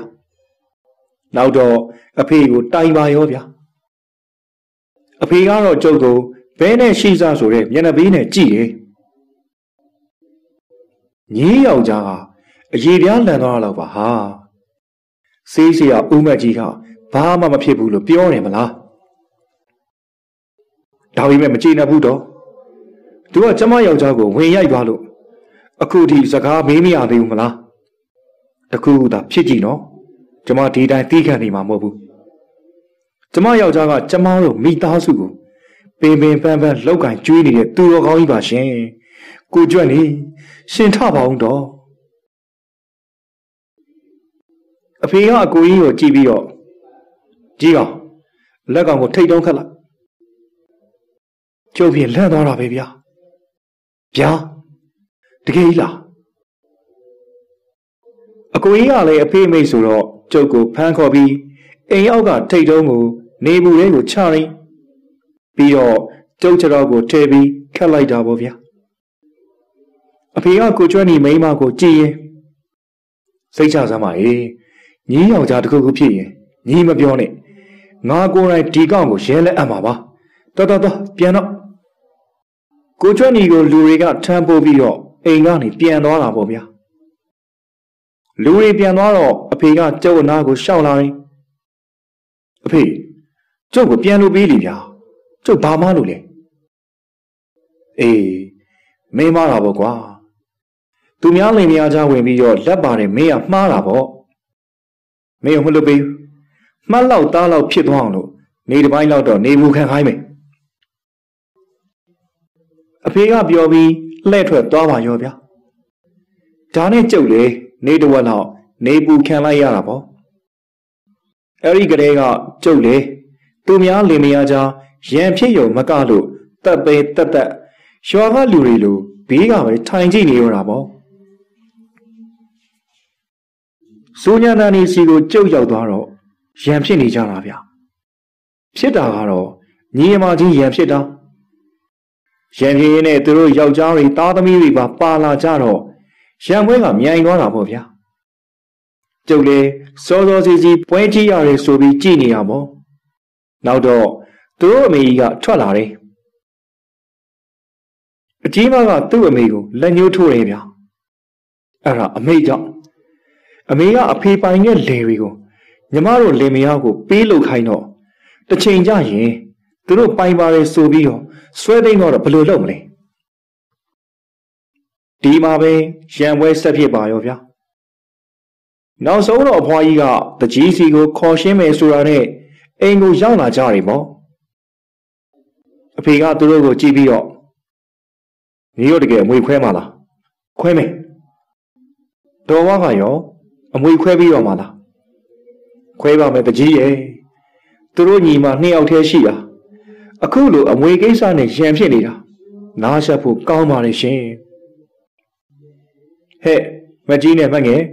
နင်တို့ငါခွဲပေးရကိုလိုက်နာမလားနှစ်ယောက်လုံးကလည်းခေါင်းရိပ်တယ်ဗျာကြောင်တဲ့အဖေကပိုင်ဆိုင်တဲ့လေရီယာရီနဲ့ခြံဝိုင်းကြီးကိုလည်းနှစ်ပိုင်းအညီမြခွဲပေးလိုက်တာပေါ့ဗျာ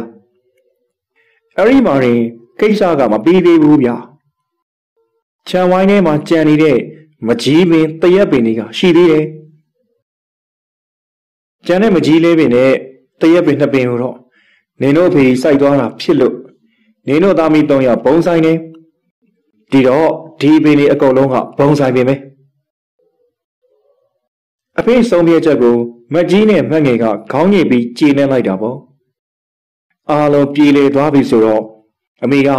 စီစိန်ထားတဲ့လက်ဖက်ပကံကိုကြက်သွန်ကြောနှမ်းလော်ဖြူပြီးတော့ အလဲမချပြီးတယ်ဒါကရွာတလိထုံးစံပေါ့ဗျာအမှုခင်ပြီးသွားရင်တပတ်ကန်လေးကလက်ဖက်ကိုနှစ်ယောက်စလုံးနှိုက်စားရတယ်ဗျမကြီးကလည်းလက်ဖက်ပကံလေးကလက်ဖက်ကိုလက်နဲ့နှိုက်စားတယ်မငယ်ကလည်းတလုတ်နှိုက်စားတယ်ပေါ့ဗျာ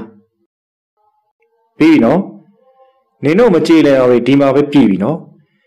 နောက်ဆိုအရင်တိုင်းညီအမတွေချစ်ချစ်ခင်ခင်ပြန်နေကြ အမွေနဲ့ပတ်သက်ပြီးမတည့်တော့မကြားချင်ဘူးနော်အခုမှရန်ဖြစ်ထားတာဆိုတော့တိတ်တော့မကြည်ရဘူးပေါ့ဗျာဒါပေမဲ့လက်ဖက်စားပြီးပြီဆိုတော့လေရှိသမျှဒေါသအာဃာတတွေကိုခေါ်ဝါချလိုက်ရတဲ့သဘောပေါ့ဗျာပြီးတော့နှစ်ဦးတစ်ဖက်စလုံးပြန်သွားကြတယ်နောက်ဆုံးတော့ဒေါ်ဝါကြီးပဲကြံခဲ့ရော်တယ်အဖေကဒေါ်ဝါကိုကြည့်ပြီးကဲဒေါ်ဝါ လက်ဖက်ဖို့သုံးချက်ကြမယ်ဗျာဒေါ်ဝါကမျက်လုံးပြူးသွားပြီးတော့အမလေးတကြီးရဲ့တကြီးအမွေခွဲပေးရဲ့အထက်မှာကျမဘုဘာများပါလို့လဲကျမကတော့ဒီလက်ဖက်ဖိုးကိုမပေးနိုင်ပါဘူးဒေါ်မကဒေါ်နဲ့မောနဲ့ပြောပြီးတော့ထသွားတယ်ဗျာဒီတော့အဖေမရံပွဲလဲရှင်းပေးရ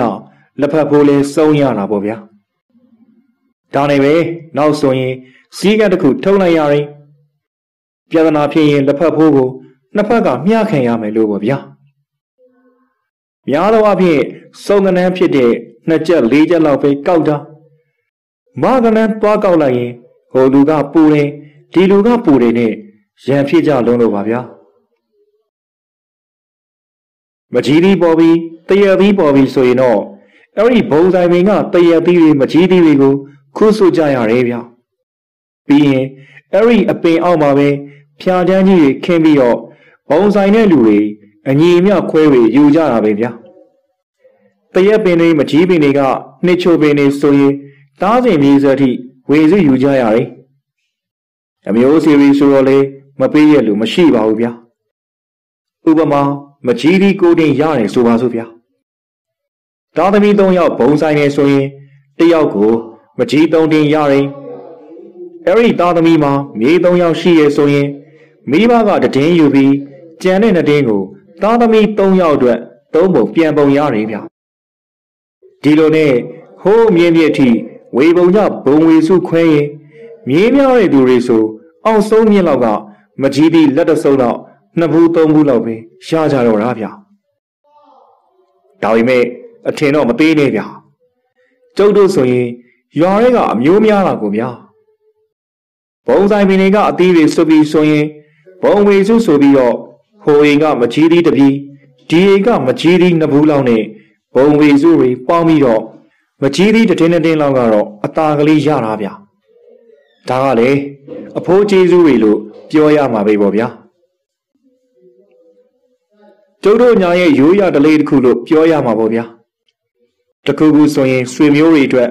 ရတဲ့ရထိုက်တာကိုခွဲဝေပေးတဲ့ကြတဲ့ဒလေးပေါ့ ဘုံဝေစုကများသောအားဖြင့်သွားတောင်းစီရကိုမလိုဘူးဗျဘုံဝေစုခွဲတဲ့လူကလည်းညီညီမြမြပဲခွဲပေးကြတာ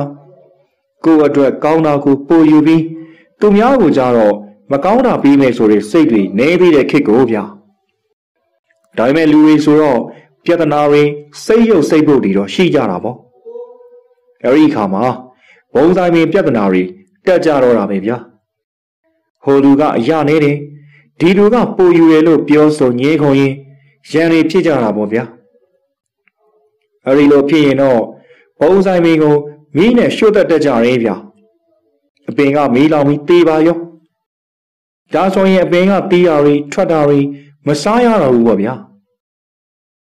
မစားရလဲဘာမှမဖြစ်ဘူးရန်တရန်အေးတယ်ဆိုပြီးတော့မိရှို့တက်ကြတာဒါပေမဲ့ဒီအဖြစ်ကလည်းတရားလုံးနဲ့ရှင်နဲပါလေ များသောအားဖြင့်ကတော့အလကားရရဲ့အသီးပဲဆိုတော့တိုင်တိုင်ပင်ပင်ညှိညှိနိုင်နိုင်နဲ့ပြီးသွားကြတာပါပဲတချို့မောင်နှမနေတဲ့လူကြတော့လေတနေ့ကိုတယောက်စီအလှဲ့ကြခူးဆွေရတယ်ဒါကလေတမျိုးကောင်းနေဗျတယောက်တစ်နေ့အကုန်သိမ်းရတာဆိုတော့ပြဿနာမများတော့ဘူးပေါ့ဗျာဘုံဆိုင်မင်းနေထဲမှာလူတိုင်းမလိုချင်ကြဆုံးအပင်ကတော့ချမ်းမင်ပဲဗျချမ်းမင်ဆိုတာ လူတိုင်းတက်တက်ကြတာမှမဟုတ်တာပဲ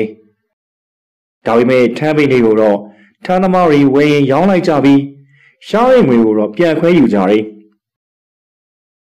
ဘုံဆိုင်ပင်တွေပြီးတော့တအိုးဆိုင်ပင်ဆိုတာရှိသေးတယ်ဗျအဲ့ဒါကတော့သားသမီးနေတဲ့ဘိုးဘွားတွေပိုင်တဲ့အပေမျိုးပေါ့ဗျာအဲ့ဒီပင်ကတအိုးဆိုင်ဆိုတော့သွားတော့မခူးလေနဲ့ဗျာပြဿနာအကြီးအကျယ်တက်တက်တယ်ကျုပ်တို့ရွာမှာ တအိုးဆိုင်ပင်အများဆုံးရှိတဲ့လူကိုပြောပါဆိုရင်တော့ဥပဒါကြီးပဲဗျာတရက်တော့ဥပဒါကကျုပ်တို့အိမ်ကိုရှောက်လာတယ်မတန်နင့်သားကိုငါမကြီးသေးဆုတ်ခိုင်းမှုခေါ်မလို့ဟာငါမကြီးသေးရတဲ့ကတဝက်ခွဲပေးပါမယ်မီးဖို့ကြောင့်ကိစ္စဆိုရင်တော့အဖေကမိကိုလွှဲထားတာကိုဗျာတဝက်ကတော့များတာပေါ့ရှင်သုံးပုံတစ်ပုံလောက်ပဲပေးပါ ဒါနဲ့ဘေနာအပင်သွားဆုံးလို့လေဖက်လေးရွာငါတို့အိမ်တော်ဘေနာအပင်ပေါ့ကွာအမေမျက်နှာတစ်ချက်ပြတ်သွားတယ်ဗျာဖြစ်ပါမလားရှင်စိတ်ချပါနင်တော့ငါတောင်းရင်ယူပါတယ်ဒါဖြင့်ငယ်အောင်ရင်အမေနံကြတော့ငယ်အောင်ကဆင်းသွားတယ်ဖက်လိုက်ရွာဟောင်းကမကြီးပင်ကိုနင်တက်မလားဟာဗျာ ဖက်လိုက်ရောင်းကဒီလောက်တရေထောက်တော့ဥပဒါကအငယ်ကောင်းကိုကြည်ရင်မင်းရလေကွာနေရင်းကြောင်တော်ကြီးတွားမှာပါကွာအငယ်ကောင်ကတော့နေခင်းပဲဖြစ်ဖြစ်ညနေဆောင်ပဲဖြစ်ဖြစ်အဲ့ဒီဘက်ကိုမတွားဝင်တာတော့အမှန်ဗျာဒါနဲ့ပဲကျုပ်လေအိမ်ပေါ်ကနေဆင်းလာတာပေါ့ကျုပ်စွတ်ပေးမယ်ဗျာဒီတော့မှအမေရောင်လေးခေါင်းညိတ်တယ်ဗျာ ကျုပ်လေပစိုးစုပ်ကြီးပတ်ခဲ့ပြီးတင်းအောင်ကြီးထမ်းလို့ပေါ့ဗျာဥပဒါကတော့တကြူလှုပ်ထားတဲ့ဝလုံးကြီးတစ်လုံးဆွဲလာပြီးတော့ကျုပ်တို့နှစ်ယောက်ရွာကနေထွက်ခဲ့တာပေါ့9နာရီလောက်ဆိုပေမဲ့နေကအတော်ပူနေပြီဗျာကျုပ်ဖက်လိုက်ရွာဘက်ကိုလိုက်ခဲ့ရတာကလည်းအကြောင်းရှိတာကိုနေရင်းဆိုတော့လေရွာဟောင်းကြီးကငှက်အော်တန်လေးတွေနဲ့တတ်သားရရပဲဗျာ ဥပဒါကရွာဟောင်းလမ်းတိုင်းရှောက်လာရင်းနဲ့ဥပဒါဥပဒါရင်ကဘိန်လဲဆိုတာမှတ်မိသေးရဲ့လားဟာတသက်လုံးဒီပါနေခဲ့တာပဲကွာမှတ်မိတာပေါ့ရွာဟောင်းကြီးမှာကတချို့တစ်ကြီးဝါးကြီးတွေနဲ့စောက်ထားတဲ့အိမ်ကအိမ်တိုင်းကြီးတွေရဲ့ကျန်တဲ့အိမ်တွေကတော့ခြံဝိုင်းအကွက်လိုနေရာလေးတွေကပဲကြံနေရောတာဗျာရှောက်လာရင်တစ်ပင်တွေကိုလက်ညှိုးထိုးပြတယ် ဟိုးအရှိမိန်ကလည်းငါ့မိစိုက်ခဲ့တာဒီဘက်ကမကြီးပင်သုံးပင်ကလည်းသူစိုက်ခဲ့တဲ့အပင်ပေါ့ကွာဒီလိုနဲ့ရှောက်လာရင်ခြံဝိုင်းတစ်ခုရှေ့နားကိုရှောက်လာတယ်ဗျခြံဝိုင်းထဲမှာတော့တိုင်ဟောင်းရာတွေဒိုးလောက်ရှိတဲ့တက်သားတိုင်တွေပဲကြံနေမြေပြင်ကလည်းမသိရင်မီးတင်ထားသလိုပြောင်ရှင်းလို့ဗျအရိချန်ဝိုင်းရဲ့အနောက်ဘက်မှာတောမကြီးပင်ကြီးတပင်ရှိရဲ့သူလည်းနှစ်တည်ကြပြီဆိုတော့ အပင်ကြီးကြီးအုပ်ဆိုင်ဆိုင်ကြီးဗျဥပဒါနဲ့အတူတူခြံဝိုင်းနဲ့ဖြတ်လျှောက်လာရင်ဥပဒါကကြုတ်ကိုအဲ့ဒီမကြီးပင်ကြီးကိုလက်ညှိုးထိုးပြရဲဗျအလက်ကောင်မင်းတက်လို့ရရဲ့လားရပါတယ်ဗျမကြီးကိုင်းဆိုတာမျိုးကတိတ်ခိုင်တာမဟုတ်လားအသီးတွေကလည်းပြုတ်ခဲနေတာပြောကျုပ်အထင်တော့၃နှစ်လောက်တော့အသာလေးရမယ်ထင်နေတော်ပါပြီကွာ ငါတယောက်တည်းစားပါကွာတခွဲလောက်ဆိုရင်တနည်းပတ်လုံးစားပါလိမ့်မယ်ကျုပ်လည်းတစ်ပင်တက်ဖို့ပြင်တာပေါ့ဒါနဲ့ဥပဒါဒီအိမ်ကဥပဒါငငယ်ကနေခဲ့တဲ့အိမ်လားဥပဒါကမကြီးပင်အောင်မှထိုင်ရင်ကုန်းရင်လေးဖွင့်နေဗျဒါပေါ့ကွာဒီအိမ်မှာငါနဲ့ငါအမိနဲ့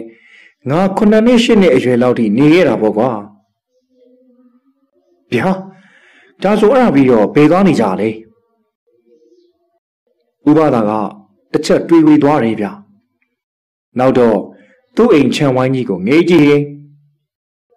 အိမ်ချံဝိုင်းကလည်းချုံပြင်းမြက်ပင်တော့မရှိသေးကုန်းခေါင်ခေါင်ကြီးဗျကျုပ်ကလည်း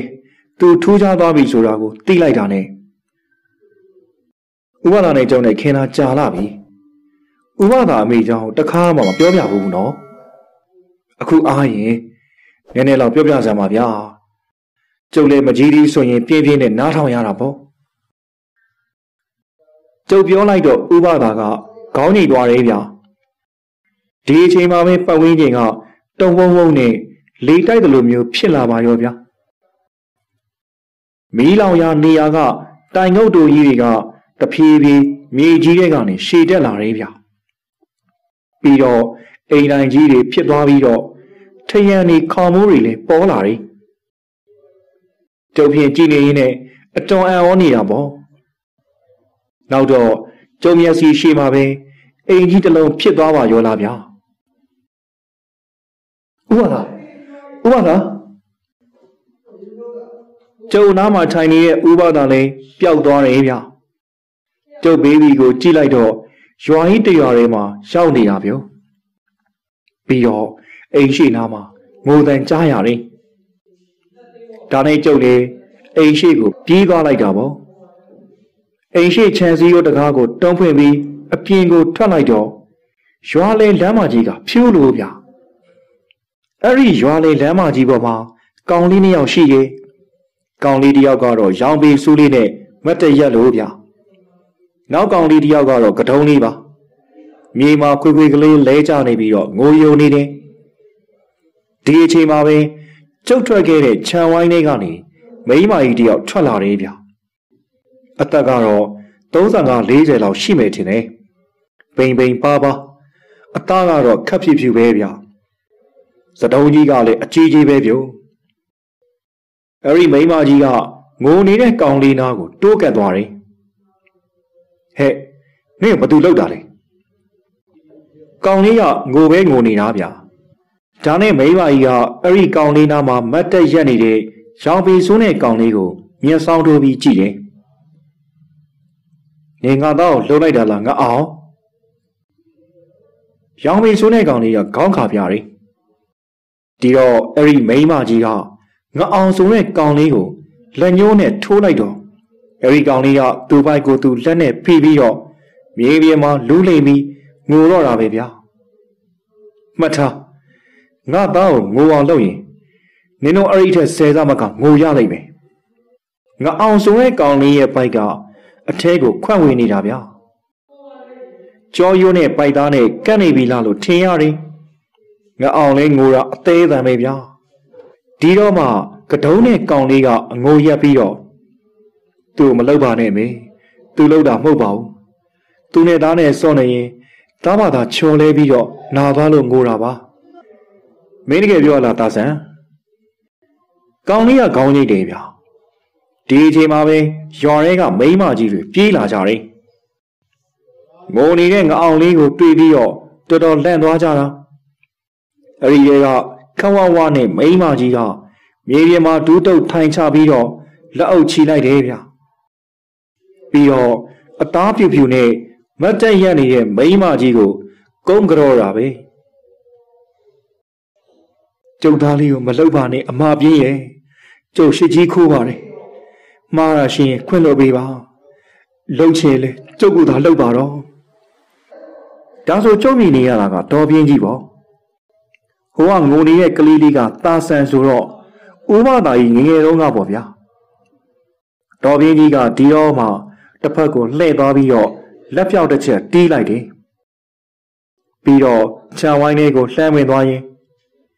ဟဲ့တာဆန်လာလိုက်ခဲ့လေအဲ့ဒီလိုပြောပြီးဝင်သွားတော့ကတုံးနဲ့ကောင်လေးကခြံဝိုင်းလေးကိုပြေးဝင်သွားတာပဲဒါပေမဲ့ခြံဝိုင်းလေးကိုမရောက်ခင်ခြံတကားကိုကင်ပြီးတော့ရက်ကြည့်နေသေးတယ်မြေပြင်မှာလူးလိုက်နေတဲ့ငအောင်က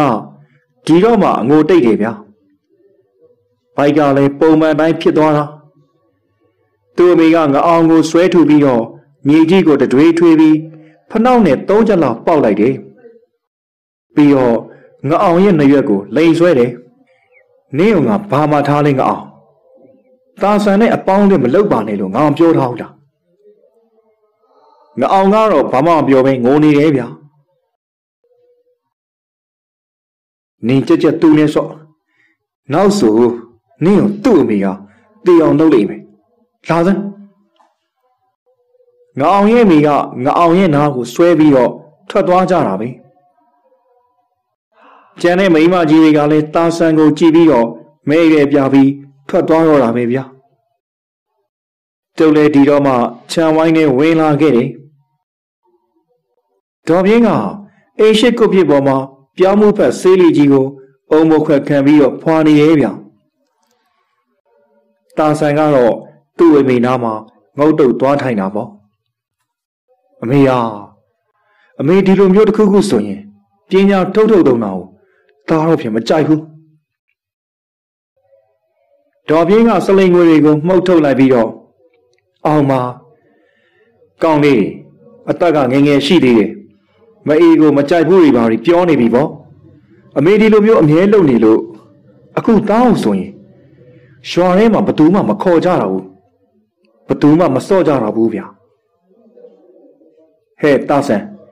သူတို့မခေါ်လေမစော့နေပေါ့နင်းကနေစော့ပါလားအမေကလည်းဘာတိလို့လဲကြီးသားရိုက်တန်းတို့ဂုံရင်းခင်းတာတို့စိန်လေးတန်းတို့ကတယောက်တည်းစော့လို့ရမှာမဟုတ်တာအမေယာတဲ့ဒီကောင်လေးတော့ငါခောက်လိုက်နာတော့မယ်ဒေါ်ဖင်းကပြောပြောဆိုဆိုနဲ့ တာဆန်ခေါင်းကိုလှမ်းခောက်လိုက်တော့တာဆန်ကထိုင်နေရင်းနဲ့ဘေးနားကိုတပေးလောက်ဆွေ့ကနေရွေ့သွားတယ်ဗျဒီအချိန်မှာပဲအိမ်ပေါ်လေကားထက်ကနေအဖွားကြီးတယောက်ဆင်းလာတယ်အသားကလည်းခက်ဖြူဖြူဗျထမိန်ရင်ရှားကြီးနဲ့သပင်ကိုလည်းဖားလျားချလို့ဗျဟဲ့မိပြင်းနေငါမင်းကိုဘာမှကိုတိလေးကလှုပ်ရှားမလို့ဘူး ဒီတော့ကုတ်ပြစ်မှာထိုင်နေတဲ့တာဆန်ကလေကားပေါ်ပြေးတက်သွားရင်လေကားထိန်နာမှာထိုင်နေတဲ့မိမကြီးကိုဖတ်လိုက်တယ်။ဘွားကြီးပြောစမ်းငါမီးကိုဘာဖြစ်လို့အမေကဆူတာလဲ။ဒါဆော့ခြင်းနဲ့ဒါကစားခြင်းနဲ့ဒါပေမဲ့ရွာတွေကဘသူမှသားနဲ့မဆော့ခြင်းဘူး။သားနဲ့မကစားကြဘူး။ဩငါမီးလေးကဆော့တာမရှိရလား။ ဒါများဖွားဖွားကိုပြောပေါ့မီးရဲ့အဖွားကြီးကခြံတော့တနေရာကိုကြည်ပြီးလက်ခုပ်တီးပြလိုက်တော့ခြံတော့တစ်ပင်ကြီးကတရှဲရှဲနဲ့လှုပ်သွားပြီးတော့မဲမဲကောင်ကြီးသုံးကောင်ဆင်းလာကြတာဗျာလူတော့လူပုံစံပဲဗျာဒါပေမဲ့ကြောက်စရာကြီးပေါ့ကျုပ်နာကဖြတ်သွားတော့ကျုပ်ဖြင့်လန့်သွားပြီးအနောက်ဆုတ်လိုက်မိသေးတယ် အဲဒီကောင်ကြီးသုံးကောင်ကလေကားရင်မှာရက်သွားတယ်ဟဲ့နင်တို့ပုံစံတွေရလေကလေးကြောက်စရာပုံလေးဟဲ့ပြောင်းစမ်းနင်တို့ခွက်တွေကိုနင်တို့ပြောင်းကြအဖွားကြီးပြောလိုက်တော့မဲမဲသုံးကောင်ကချက်ချင်းပုပြီးတော့ကလေးပုံစံလေးတွေဖြစ်သွားတာဗျာအဝိစားမပါပဲခါမှာလန်ကုတ်တီပတ်ထားတဲ့ပုံလေးတွေပေါ့ဗျာပူပူဝါဝါနဲ့မသိရင်ဖိုးဝါယုံနေတော့တူကြသေးတယ် အရွယ်ကတော့9နှစ်6နှစ်ဝင်းကျင်လောက်ပဲနေမှာတာဆန်ကအဲ့ဒီကလေးတွေကိုကြည့်တော့အဲ့ဒီကလေးတွေကပုံစံမျိုးမျိုးနဲ့ပြောင်ပြတယ်ပြီးတော့ဂျုံးနေပါရီထိုးပြတယ်ဗျာဘဝကြီးသူတို့ကဘသူတွေလဲအဲ့ဒါကငါမင်းရဲ့ဖိုးဖိုးတွေပေါ့ကွဖိုးဖိုးတွေကလည်းကလေးလေးတွေလားအေးပေါ့ငါမင်းရဲ့ကဲဒီနေ့ကစပြီးတော့ ငါမင်းနဲ့ဘသူမှမစော့လို့အားမငင်နေတော့ဟောဟိုကဖိုးဖိုးတောင်းရောက်နဲ့သွားစော့ကြီးတာဆိုင်ကလေကားပေါ်ကနေဆင်းသွားပြီးတော့ပစိုးတတေကိုဘူတုံးချီပြီးအဲ့ဒီတရေကလေးသုံးကောင်ကိုလိုက်ရိုက်တော့တာပဲဗျာဟိုတရေကလေးတွေကလည်းပြေးလိုက်တာမှလှစ်ကနေလှစ်ကနေဗျာလေကားပေါ်ထိုင်နေတဲ့အဖွားကြီးကလှမ်းကြည့်ပြီးဟဲ့ကောင်လေးကလေးနဲ့ဆော့တာကို နည်းနည်းပါတော့ရှော့ပေးလိုက်ကြပါတော့လားဟာမပြောချင်ဘူးနော်ဒီတော့မှတရေကလေးတွေကရှက်ပြီးရဲ့ဗျာတာဆန်ကတရေကလေးတွေကိုလိုက်လိုက်ရှာပြီးတော့ပျော်နေပါရောနောက်တော့တရေလေးတစ်ကောင်ကမြင်းလုံးလှုပ်ပြီးရင်တာဆန်ကတက်စီးလိုက်တော့ခြံတစ်ပတ်မြင်းလုံးပတ်ပြေးပါရောဗျာဒီတော့လေကားမှာထိုင်နေတဲ့အဖွားကြီးကဒေါ်ပြင်းကိုကြည်ရင် မိပြင်းနင်းလဲဒေါသလေးပါလေရှော့နော်ငါမီးကိုထိရင်နင်းလဲနာမယ်မက်အမေမေရမြာတမီးကိုလာပြီးစိန်ခေါ်နေသေးရဲ့မကြည်နဲ့ရင်အမေနဲ့သမီးနဲ့ဘသူပညာပို့ထက်တယ်လဲဆိုတာပြိုင်မလားအဖွားကြီးကမျက်နှာတစ်ချက်ပြက်သွားပြီးမင်းကငါမွေးထားတဲ့သမီးပါဒီတော့နင့်မှာငါပြောတဲ့စကားကိုနားထောင်ရမယ်တာဝန်ရှိတယ် အရီခါဒေါ်ပြင်းကြီးကရည်ရဲဗျမဲပြင်းတို့ကတော့ကိုမနဲ့ထင်တာကိုလုံးမယ်မိဘတော့ဘာတော့နားလေနေမှာမဟုတ်ဘူးအဖွားကြီးကဘာမှပြန်မပြောတော့ပဲအိမ်ပေါ်ကိုတက်သွားတော့တယ်ကျုပ်ကြည့်နေရင်ခမိုင်းမိုင်းဖြစ်နေတဲ့ပတ်ဝန်းကျင်ကနေနေရောင်တွေလင်းလာတယ်ဗျဒေါ်ပြင်းကြီးလည်းပျောက်သွားသလိုအိမ်ကြီးတစ်ခုလုံးကလည်း ရုပ်ချီပျောက်ကွယ်သွားပြီးတော့ခြံဝိုင်းလိုကြီးသာကြံနေခဲ့တော့တာဗျကျုပ်လည်းကြည့်လိုက်တော့ဥပဒါတယောက်မကြီးပင်ကြီးအောက်မှာကလေးတယောက်လိုငုတ်တုတ်ထိုင်လို့ဗျကျုပ်လေသူ့အနာကိုကတ်ခဲ့တာပေါ့ဥပဒါပြောဥပဒါကျုပ်ခေါ်တာကိုမကြားဖဲနဲ့တခုခုကိုတွေးနေတဲ့ပုံပဲဒါနဲ့ကျုပ်လေမကြီးပင်ပေါ်ကိုတက်မဲ့ပြင်း တစ်ပင်ကိုလက်အုပ်ချပြီးခွင့်တောင်းလိုက်တယ်။ပြီးတော့တစ်ပင်ကိုတက်မယ်အလုံးမနေုံလက်ကောင်မင်းတက်စရာမလိုတော့ဘာဗျာဒါဆိုမကြီးလေးတွေမစွတ်တော့ဘူးလားဥပဒါကမတ်တက်ရက်လိုက်ပြီးတော့အရင်တော့ကတော့ဘိုးဘိုးတွေကစွတ်ပေးတာပဲကွာဥပဒါကမကြီးပင်ကြီးရဲ့ပင်စီကိုလက်နဲ့ပုတ်ပြီးတော့အပင်ပေါ်ကိုမော့ကြည့်တယ် ဘိုးဘိုးတို့ရေထုံးစံတိုင်းမကြီးတတင်းလောက်စွတ်ပေးသမျှဒီလိုအွန်လိုက်တော့မကြီးပင်ရောက်မှာကျုပ်ကြထားတဲ့တင်းတောင်ကြီးရဲ့ကို မကြီးသီးတွေတဖြုတ်ဖြုတ်ပြုတ်ကြတော့တာပဲဗျာကြလာတဲ့မကြီးသီးတွေကလည်းကောင်းပြီညွန့်ပြီဆိုတဲ့အသီးတွေဗျာကျုပ်တို့ဆိုရင်တော့ကိုမီရဲ့နေရာလောက်ကရှိသမျှအသီးတွေအကုန်စွတ်တာမလားအဲ့ဒီထဲမှာ ပူထိုးထားတဲ့အသီးတို့နေလောင်ပြီးခြောက်နေတဲ့အသီးတို့လည်းပါတာပေါ့အခုကတော့ဒီလိုမဟုတ်ဘူးဗျာအသီးတွေကတကယ်ကို အကောင်းဆိုတဲ့အသီးတွေကြီးပဲဗျာဥပနာကတော့ပြုံးနေရင်တစ်ပင်ပေါ်ကိုမောကြည့်နေတယ်တစ်ပင်ကြီးကတပြန်းပြန်းလှုပ်လို့ဗျာတည်င်းဆိုတဲ့အတိုင်းပဲတင်းတောင်ကြီးမောင်းရှံသွားတော့ရှက်တန့်သွားတော့တာပဲဗျာ ကျုပ်လဲတင်းတောင်ပေါ်မှာပစိုးလွှမ်းပြီးတော့တောင်ကြီးကိုထမ်းလိုက်တာပေါ့ပြီးတော့ဥပဒါကြီးနဲ့အတူတူအဲ့ဒီခြံဝိုင်းလေးကနေထွက်လာခဲ့ကြတယ်အပြန်လန်းတော့ဥပဒါကစကားတခေါမှမပြောဘူးဗျာကျုပ်လည်းမေးမနေတော့ပါဘူးရွာဝင်သားရောက်တော့မှ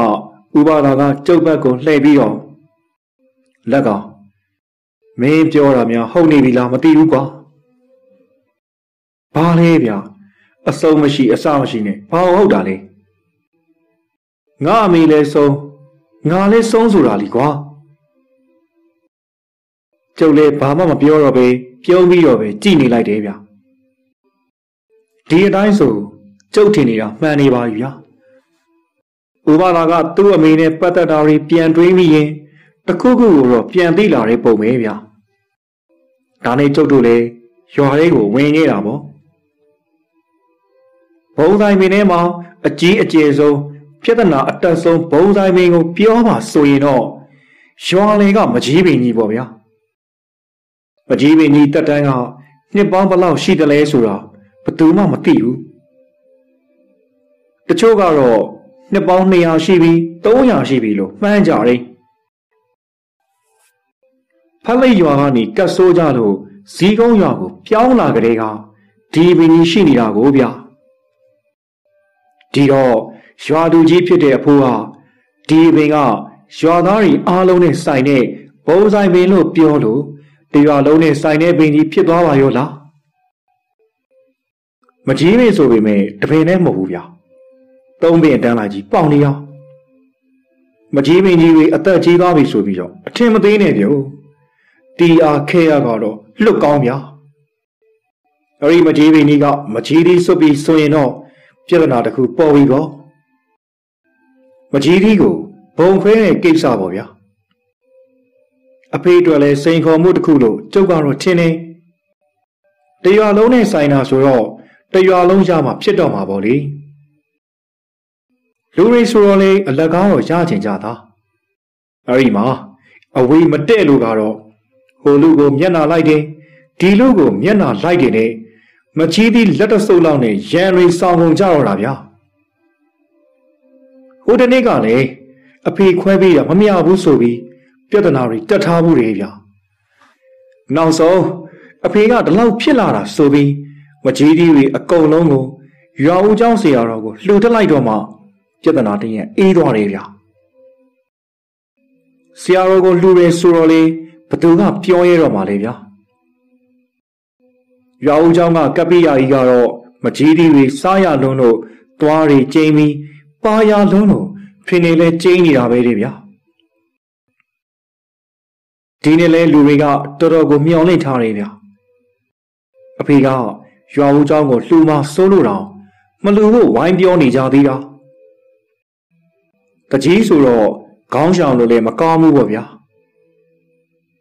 အဖေကတော့အဲ့ဒီကိစ္စကို ဓာတ်တော်ဝေရလို့တင်စားပြီးခေါ်တယ်ဗျာအဖေကလည်းမကြီးသေးခွဲတော့ကိုများဘာလို့ဓာတ်တော်ဝေရလို့ပြောရတာလဲဟာဖယားရှင်ပြိဋိနိဗ္ဗာန်စံဝင်ပြီးကျွင်းကြံရစ်တဲ့ဓာတ်တော်တွေကိုလိုချင်ကြလို့တိုင်းပြည်ရှိခုကဘယင်တွေကစင်အင်ကခင်းပြီးတော့စစ်ဖြစ်ဖို့လာတယ်မလားအဲ့ဒီမှာဒေါနာပုံနာကြီးက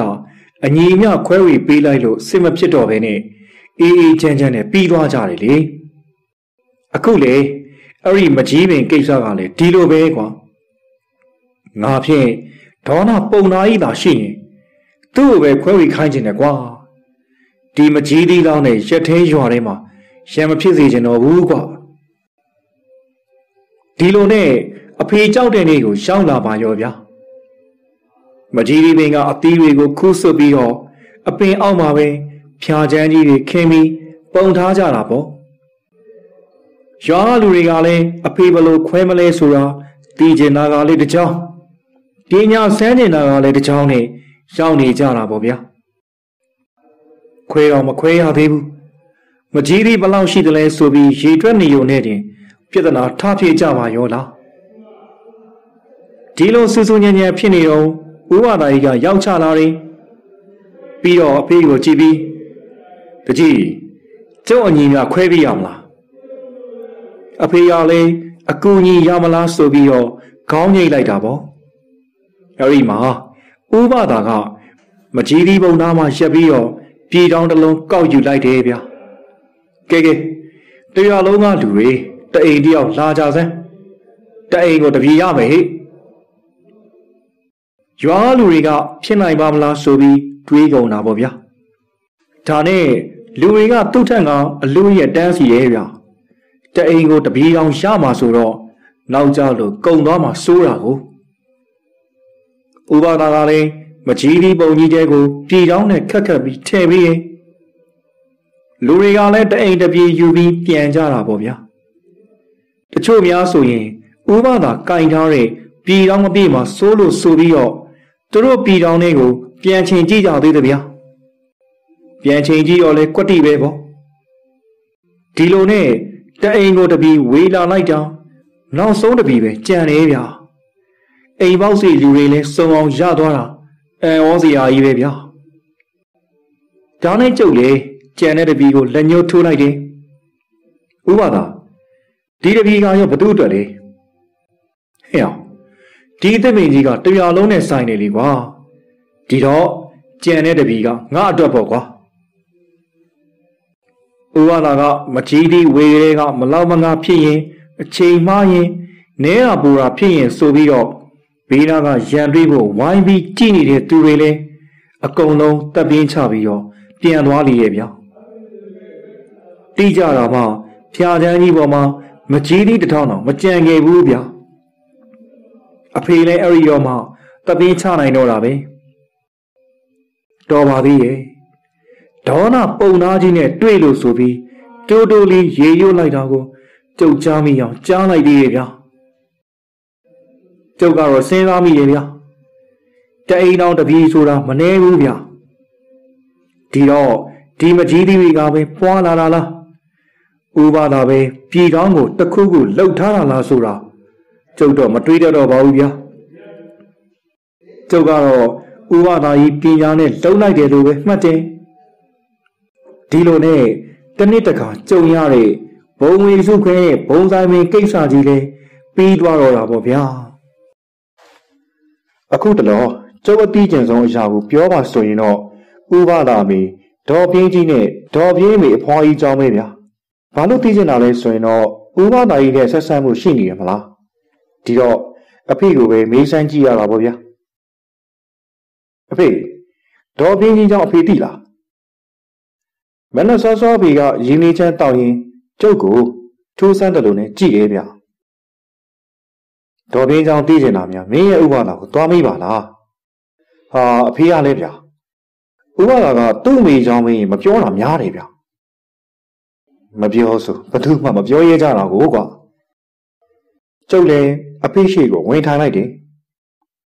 ဘာဖြစ်လို့လူတွေကဒေါ်ပြင်းကြောင်းဆိုရင်မပြောရဲကြတာလေဗျ ဒေါ်ပြင်းကစုံးမယူကွာငါတို့ငယ်ငယ်တုန်းကဆိုရင်ဒေါ်ပြင်းအတန်ကြားတာနဲ့တိတ်ကြောက်ခဲ့ရတာဒေါ်ပြင်းကအရှိခုနှစ်အနောက်ခုနှစ်ပြောတာမှန်သမျှကြားရတယ်ဆိုပဲနောက်ပြီးသူ့မကောင်းကြောင်ပြောတာနဲ့အဲ့ဒီလိုတခုခုဖြစ်တတ်တယ်ဆိုတော့ဘသူမှမပြောဝင်ဘူးပေါ့ကွာဒီအကြောင်းတွေသိချင်ရင်မင်းမေကိုမေးကြည့်ပေါ့ အဖေပြောနေတော့မှပဲအမေကငချောက်ဖုတ်ပြီးစီစမ်းထားတဲ့ပကံလေးကိုင်းလို့အဖေရှိကစပွဲပေါ်လာချတယ်ကျုပ်ကလည်းအန်တိုင်းဖြစ်သွားတာနဲ့အမေဒေါ်ပြင်းကသူ့အကြောင်းပြောရင်သိရဆိုအဲ့ဟုတ်လားအမေဒေါ်ပြင်းအကြောင်းသိရင်ပြောပြပါလားအမေရဲ့လက်ကကျုပ်ခေါင်းပေါ်ကိုတောက်ကနေကျလာတာဗျာလက်ကလည်းမြန်လိုက်တာပြောမနေပါနဲ့ကျုပ်ဖြစ်နာလုံးလို့ ခေါင်းကိုပုတ်ထားလိုက်ရတယ်ဒေါ်ပြင်းကနေမရမလို့နေရသိကျင်နေရလားလှုပ်เสียမရှိရင်ရေသွားငင်နေသတကယ်တည်းအာအာရရနဲ့အမေကပြောဆိုရင်အိမ်တော်ဖေးကိုဝင်သွားတော့အဖေကကျုပ်ကိုကြည့်ရီးရဲဗျကဲသိပြီမလားဒေါ်ပြင်းကြောင်းကျုပ်လည်းခေါင်းကိုပုတ်ရင်သိပါပြီအဖေဟာဒေါ်ပြင်းကြောင်းတော့မဟုတ်ဘူးလက်တံဖြောင်နဲ့မတ်တန်းကြောင်းပေါ့ ဒီလိုနဲ့မနှက်စာစားတော့ပြီးတော့ရွာရဲဆူဆူညံ့ညံ့အတန်ကြားတာနဲ့နားဆွဲမိရဲ့ဗျအတန်ကရွာလေဘိုင်းလောက်ကလာလာအတန်ကိုနားထောင်ကြည့်ရတဲ့ဘာကြီးစိတ်ရင်တော့လင်မယားတမန်သိတော့ဆက်ပြီးနားထောင်ကောင်းကောင်းနဲ့နားထောင်နေမိရဲ့ရွာလေနဲ့ကျုပ်တို့အိမ်ကအတော်လန်းပြီမဲ့လေတင်တိုင်းဘာကြီးစိတ်ရင်နဲ့အဖွားဆန်းတို့ရဲ့အတန်တွေကလွဲလွဲလာတာပဲဗျာ ငယ်ငယ်တော့ကဆိုရင်တော့ဘာကြီးစိတ်ရင်တို့လင်မယားရံဖြစ်သွားတာကိုတွားတွားကြည့်မိရဲ့ဗျာခလေးဆိုတော့လေထူးဆန်းတာမြင်ရင်ကြားရင်နားထောင်ချင်တာပေါ့ဘာကြီးစိန်ကကျုပ်တို့ငယ်ငယ်ကနေအသက်80နီးပါးအခုဆိုရင်တော့90နာကပ်ပြီပေါ့ဗျာတော်သားဆိုတော့တန်တန်မာမာပဲဗျာဘာကြီးစိန်တို့လင်မယားကရွာလေကမကြီးသုံးပေနာကဝိုင်းချံမှာနေကြတယ် ဘာကြီးစိန်ရဲ့မိန်းမကတော့ဖွားဆန်းတုတ်လို့ခေါ်ရဲဗျအသက်ကတော့မတိမ်မရေးပါပဲဗျာငယ်လေငယ်မယားတွေပေါ့သူတို့စီမှာတားတယောက်ရှိတယ်ဗျာသူ့သားကရွာမှာထိုင်းရင်ရောင်းတဲ့ကိုကြွက်နေပေါ့ဗျာတားရီမြေရီရနေပြီဆိုတော့ဘာကြီးစိန်ကလေယာလုပ်ငန်းဝင်တော့စင်းမလုပ်တော့ဘူးဒါပေမဲ့အမြဲတမ်းခြံဝိုင်းထဲမှာတမြက်စီးလဲတာဖြစ်ဖြစ်တောင်းရက်နေတာဖြစ်ဖြစ် မိုးရင်းဆိုရင်တော့မျက်နှုတ်ပေါင်းရှင်းအမြဲလုပ်နေတတ်တဲ့လူကြီးပေါ့ဗျာလူကခက်ပိန်ပိန်ပူပူပါပဲခေါင်းမှာကတော့ဖြူပွေးနေတဲ့စပိန်နေနဲ့ရှောင်းနှုံးကလေးတထုံရှိသေးတယ်ဗျ။တွားရီတစ်ချောင်းမှမရှိတော့ပေမဲ့ဘာကြီးစိန်ရင်ကကုန်းတော်စားကျင်သေးတယ်။ကုန်းသီးစိတ်ကလေးကိုပါစက်ထဲထည့်ပြီးတရီရီနဲ့တမြုံမြုံလုံနေကြတာပေါ့။တွားရင်လာရင်ဘာကြီးစိန်ကိုတွေ့ရင် ပါစက်ကလေးလှုပ်တုတ်တုတ်နဲ့ကုန်းသီးမြုံနေတာပေါ့ဗျာ။ဝါစားတုတ်ကတော့နာမည်ကသာတုတ်ပါပြီမဲ့လူကတော့ပိမ့်ပိမ့်ပဲဗျာ။အသက်သာကြီးပေမဲ့သွားနိုင်လာနိုင်လုံနိုင်ကိုင်နိုင်တော့မဲဗျာကိုကျော်လီကအိမ်တောင်ကြပြီးတော့ရွာရှိပိုင်းမှာသူ့ဘာသာအိမ်ခွဲနေတာဆိုတော့ရွာနယ်ဝိုင်းမှာဘာကြီးစိန်နဲ့ဘွားဆန်းတို့တော့လင်မယားနှစ်ယောက်ပဲနေကြတာပေါ့ဗျာ ဘွားဆန်းတို့ကထင်းရှာထင်းကောက်ထမင်းချက်ဟင်းချက်နဲ့အိမ်မှုကိစ္စတွေလုံနိုင်သေးတယ်ဗျရေထမ်းတာဘာညာကတော့ကိုကျွတ်ညီကိုယ်တိုင်ဖြစ်ဖြစ်ကိုကျွမ်းနီသားအကြီးကောင်ဖြစ်ဖြစ်လာလာလုပ်ပြီးရပဲဗျာကိုကျွမ်းနီထရေကြိုက်တာကတော့ဘာကြီးစရင်စီကအမွေရတာဖြစ်မယ်ဗျာဘာလို့လဲဆိုတော့ဘာကြီးစရင်ကလေထရေတိတ်ကြိုက်လို့ပဲဗျာဒီအသက်ဒီအရွယ်ထိထရေတောက်တော့ ကိုကျွမ်းနီကထရေလာလာပို့ပြီးရတယ်နေတိုင်းတော့မဟုတ်ပေမဲ့တပတ်တစ်ခါနှစ်ခါလောက်ပေါ့ဗျာထရေတောက်တဲ့အခါဘာကြီးစရင်နေမဟုတ်ပဲဘွားစားတုပ်မှာတောက်တယ်ဗျာအရင်ကတော့ဘွားစားတုပ်ကြီးကထရီမတောက်တတ်ဘူးဘာကြီးစိရင်အတွက်ညနေဆောင်ဆိုရင်ထရီတောက်ဖို့လောက်ကင်ပေးရင်ခွန်လိုက်ဘဝကနေနောက်ဆုံးတော့မောင်တစ်ခွက်မဲတစ်ခွက်ဘဝရောက်သွားပါရောဗျာဒါကြောင့်ရွာရင်းမှာ မောင်တစ်ထမ်းမဲတရွက်လောက်တာကိုစိန်ရင်တစ်ခွက်စမ်းတုပ်တစ်ခွက်လို့တင်စားပြီးပြောခဲ့ကြတာခုထိပါပဲဗျာတကယ်နဲ့သူတို့ပြောတဲ့အတိုင်းပဲထရီမြူလေးရှေ့ချပြီးတော့ဘာကြီးစိန်ကထမ်းပေါင်းနဲ့တစ်ခွက်တောက်လိုက်ဖွာဆန်းတို့ကတစ်ခွက်ခတ်တောက်လိုက်နဲ့လင်မယားနှစ်ယောက်အတွဲညီပါပြီလေဗျာထရီတောက်ပြီးတော့လင်မယားနှစ်ယောက်ရန်ဖြစ်ပြီပဲဗျာမုံမုံနဲ့ငယ်ကျိုးငယ်နာဖော်ရင် ရန်ဖြစ်ကြတာဗျရန်ဖြစ်တဲ့အခါတယောက်မျက်နှာတယောက်ကြည့်ပြီးစိတ်ကြဆိုကြပဲလက်တော့မပါဘူးဗျပါဇက်နေပဲဒုတ်ဒီဓာရီထုတ်ပြီးစောကုန်တာသူတို့ရန်ဖြစ်တာလေငငယ်တုန်းကကြည့်လို့ကောင်းတယ်ဗျာမသိရင်ကွက်စိတ်ဟောတဲ့အတိုင်းပဲကိုတခါတခါတယောက်နဲ့တယောက်မခံချင်အောင်ပြောရပြီးနားထောင်ရင်တုတ်တို့တော့ဘေးကနေရီနေတာပေါ့ဗျာ အခုလဲစောစောစီစီရန်ဖြစ်နေပုံထောက်တော့လင်မယားနှစ်ယောက်တရီတောက်နေပြီလို့မှတ်လိုက်ပါတယ်ဒါနဲ့ကျုပ်လေရွာလေးကိုထွက်လာခဲ့တာပေါ့ဗျာကျုပ်ရောက်တော့ရန်ဝဲကပြီးသွားပြီနောက်ဆုံးတော့ယောက်ျားဖြစ်တဲ့ဘာကြီးစိန်ကအလံဖြူပြပြီးတော့အိမ်ထဲဝင်ပြီးအိတ်သွားပြီပေါ့ဖွားဆန်းတုတ်သားကြံတဲ့ထရေကလေးလက်ချံဖြတ်ရင်းကွပ်ပြစ်ပေါ်မှာထိုင်နေတယ်ဒါနဲ့ကျုပ်လေသူ့အနာကက်ခဲ့တာပေါ့ဗျာ ကျုပ်ကောင်းထဲမှာအတွေးတစ်ခုရှားတာကသူတို့တက်က80ကျော်90ရီဆိုတော့ရှင်းမီနောက်မီလို့ပြောလို့ရတယ်မလားဒီတော့ဒေါ်ပြင်းကြီးအကြောင်းကိုသူတို့ကောင်းကောင်းမှီလိုက်မှာပေါ့ဖွားစံတို့စောတော်စီစီကောင်းနေပြီလားဘာကောင်းတာလဲဖွားစံတို့ကအရက်မူးလာရင်တော့ဆဲဆိုပြီးစကားပြောတာဗျာကျုံလည်းသိကျင်တာရှိတော့သူ့ကိုကတ်မေးရတာပေါ့ဟိုလေးဖွားစံတို့ ဒေါ်ပြင်းကိုမှီလိုက်သလားဗျာဖွားစံတို့ကရေဝင်နေတဲ့မျက်လုံးတွေနဲ့ကျုပ်ကိုကြည့်ပြီးတော့ခေါင်းညိတ်တယ်ဗျတိတာပေါ့မဲပြင်းတယ်မဟုတ်ဘူးမဲပြင်းရမေမမဲဖြူကိုတော့မှီလိုက်တပါဟောဒေါ်ပြင်းမီကမမဲဖြူလေလားအေးလေမမဲဖြူလဲစုံမဲပြင်းလဲစုံမောဟဲ့ဒါဖြင့်ကျုပ်ကိုပြောစမ်းပါဦးဗျာမမဲဖြူဆိုတာတော့ကျုပ်ကအခုမှကြားဘူးလား ဖွားဆိုင်တို့ကအဟိုဒီကြည်ရင်လက်အောက်ချီပြီးတော့ပွားစီပွားစီရွှနေသေးတယ်ကျုပ်လည်းထူးဆန်းနေရပေါ့ဖွားဆိုင်တို့လူကထရီမူးနေပြီးတော့ဖျားရှိခုနေသေးတယ်ဟဲ့နင်ပါသိလို့လေမေတင်းအကြောင်းပြောမယ်ဆိုလို့တောင်းပန်နေရတာဟေးဟာဗျာဒေါ်ပြီးကတီတာကြပြီမလားအောင်မနေကပေါ့ပေါ့တန်တယ်မမှတ်နဲ့မေပြင်းကလူသားပေပေမဲ့ သူကဘလူးဖြစ်သွားတာဟဲ့သူ့အကြောင်းပြောတဲ့လူတွေကိုဖမ်းစားပြုတ်စားတတ်တယ်ဆိုပြီးပြောကြတယ်ဒီတော့မှကြုံလဲခေါင်းငိမ့်လိုက်တယ်ဟုတ်မေဗျဒါကြောင့်အမေတော်မှဒေါ်ပြင်းအကြောင်းကိုမပြောရဘူးရပြီရပြီမမေပြူဆိုတာတစ်ချိန်ကဖမ်းလိုက်ရွာဟောင်းမှာ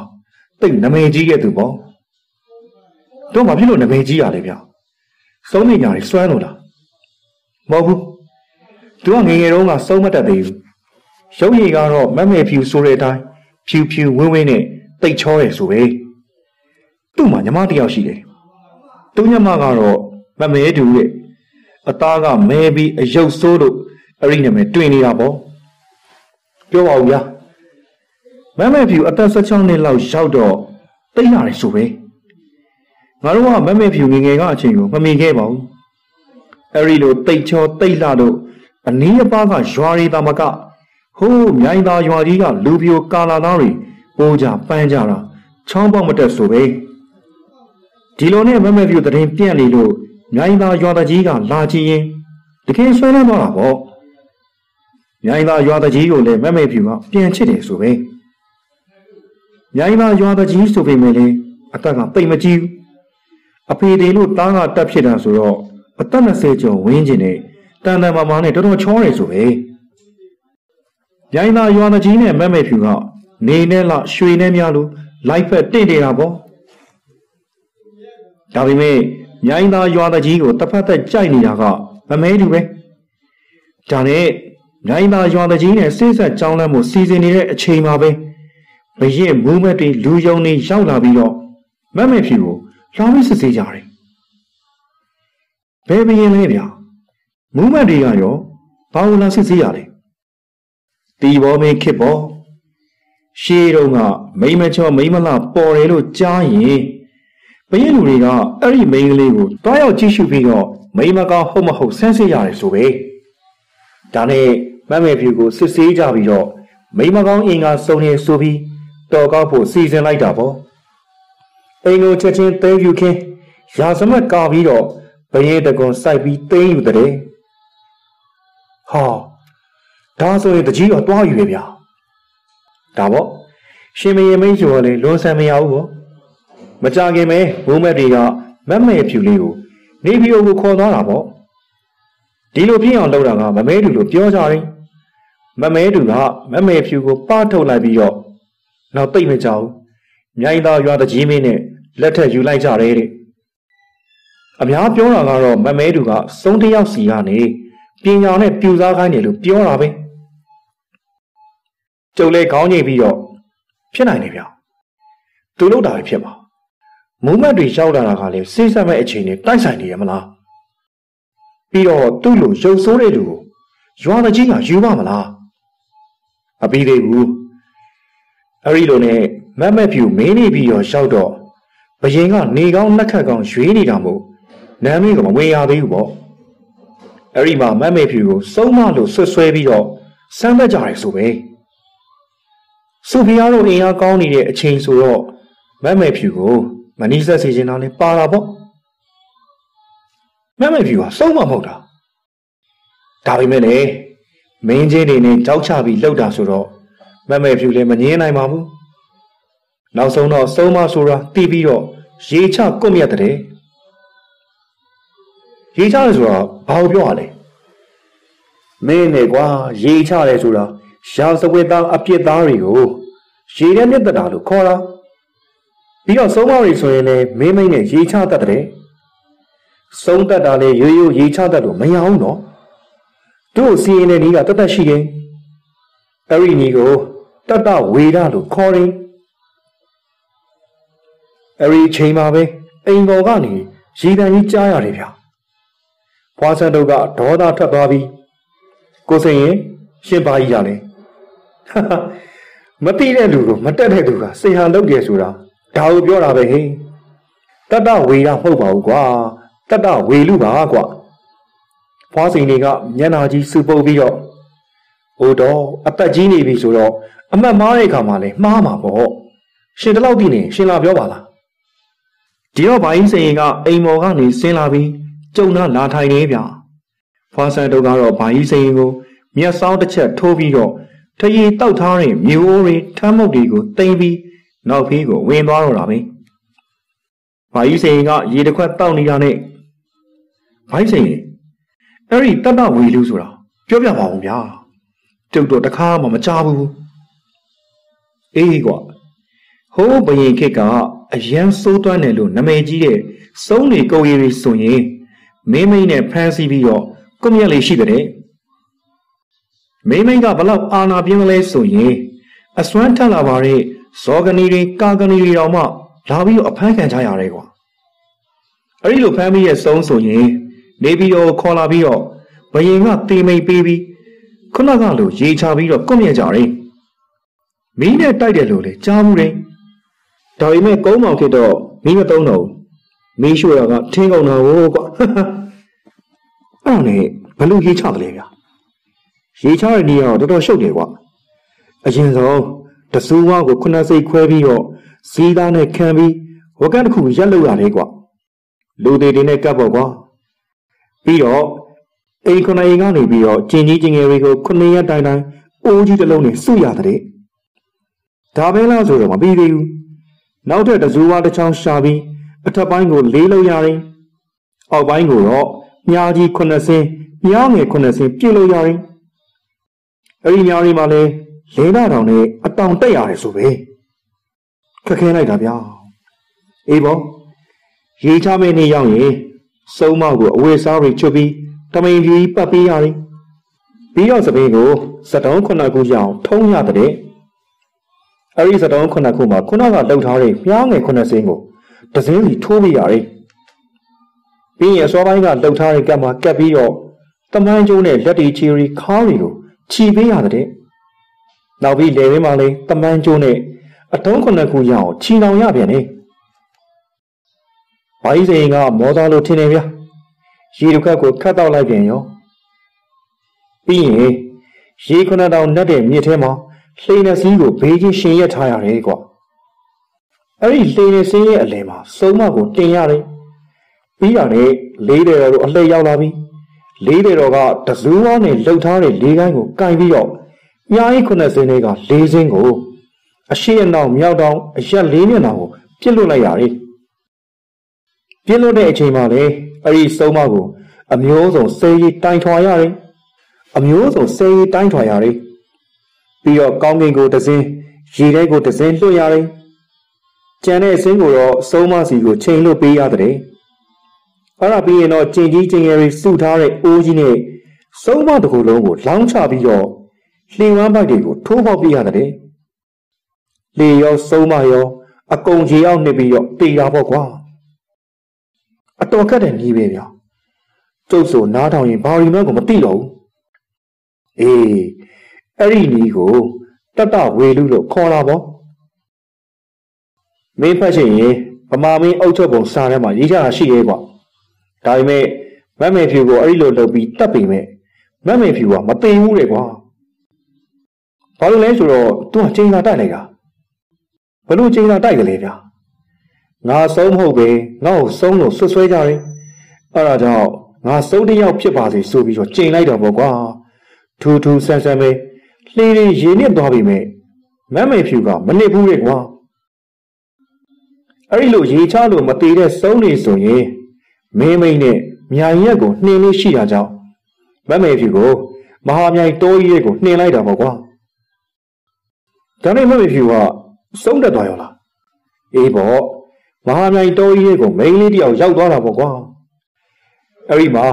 မြို့ဟောင်းမြို့ပြကြီးတစ်ခုရှိတယ်အဲ့ဒီမြို့ပြကြီးမှာလည်းနေနေခံထားရတဲ့စုံနေနေကြတဲ့မမေဖြူအဲ့ဒီကိုရောက်သွားတော့ စုံလေးကြီးခုနှစ်ယောက်နဲ့ညားပါလေရောဟာဗျယောက်ျားတစ်ယောက်ကမိန်းမအများကြီးကိုယူရပဲကြားဘူးလားသူ့လေကြမှာမိန်းမတစ်ယောက်ကယောက်ျားအများကြီးကိုယူရတဲ့လားဖက်ကောင်လေးက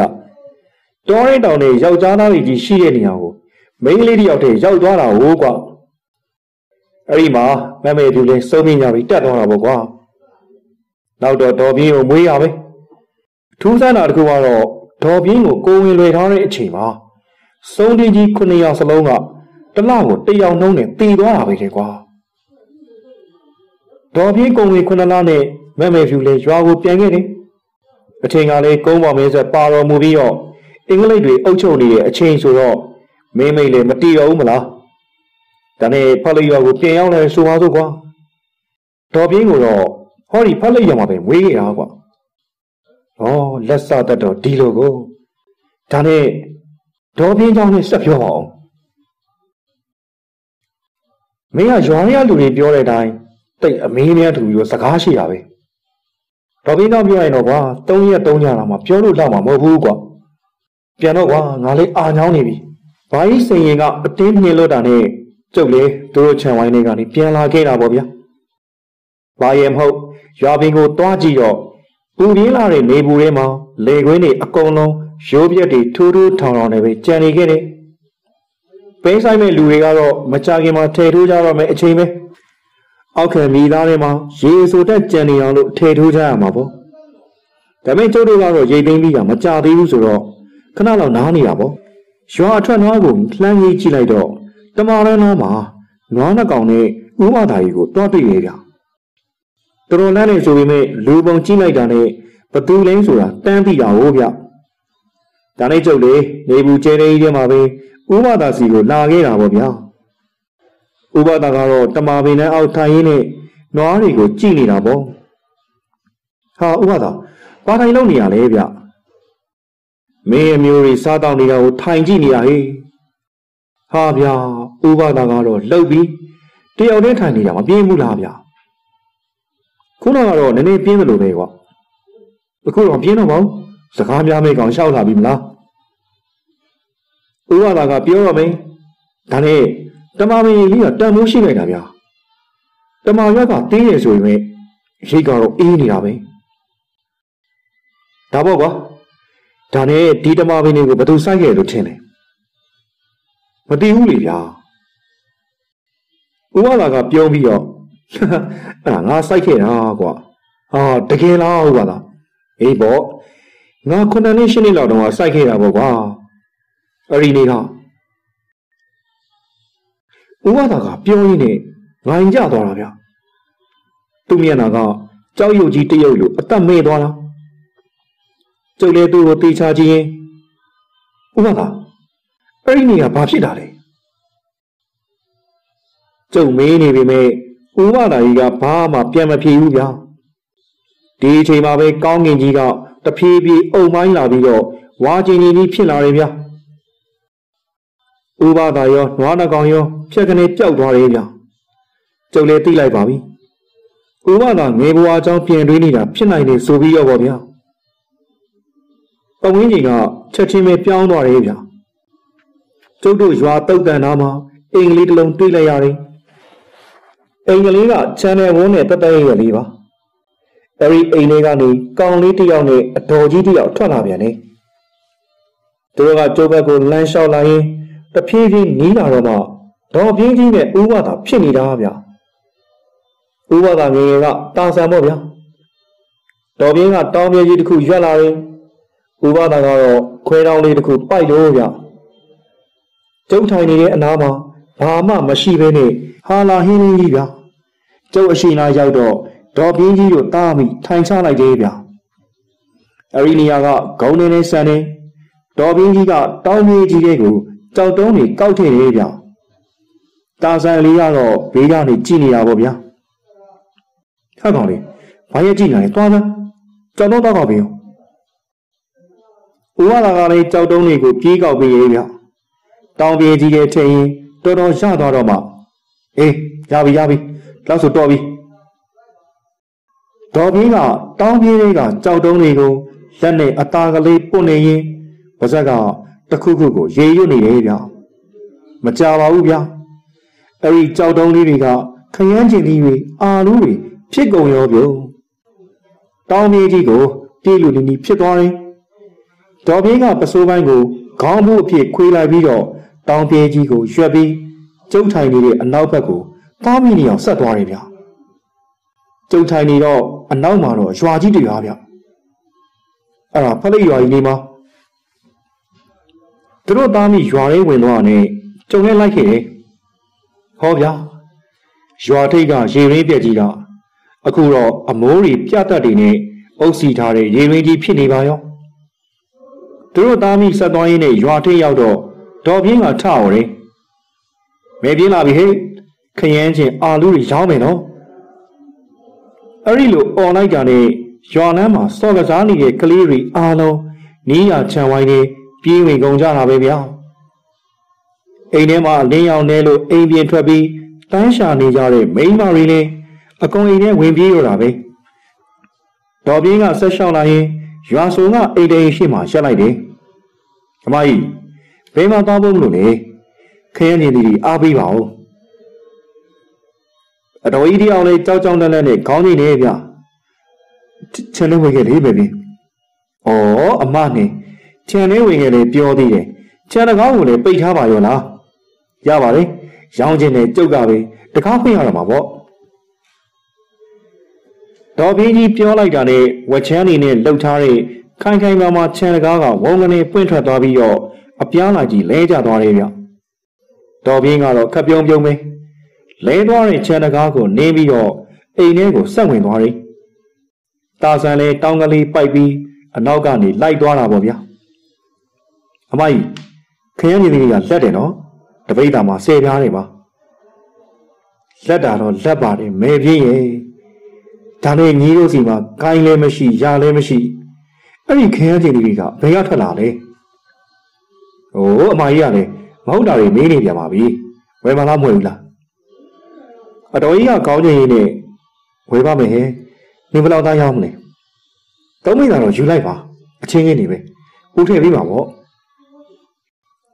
ဒေါ်ပြင်းကတောင်းလေးကခရမ်းကျင်ပြီးကိုလက်နဲ့နှိုက်လိုက်ပြီးတော့ကျမ်းပေါ်ကိုချပေးရဲ့ဗျချိန်ခွင်မပါဘာမပါနဲ့ဆိုတော့တုံးပိတ်သားကိုဘလို့ပြည့်တယ်လဲတော့မသိပါဘူးဗျာကဲရပြီပေးပြားတော့တယ်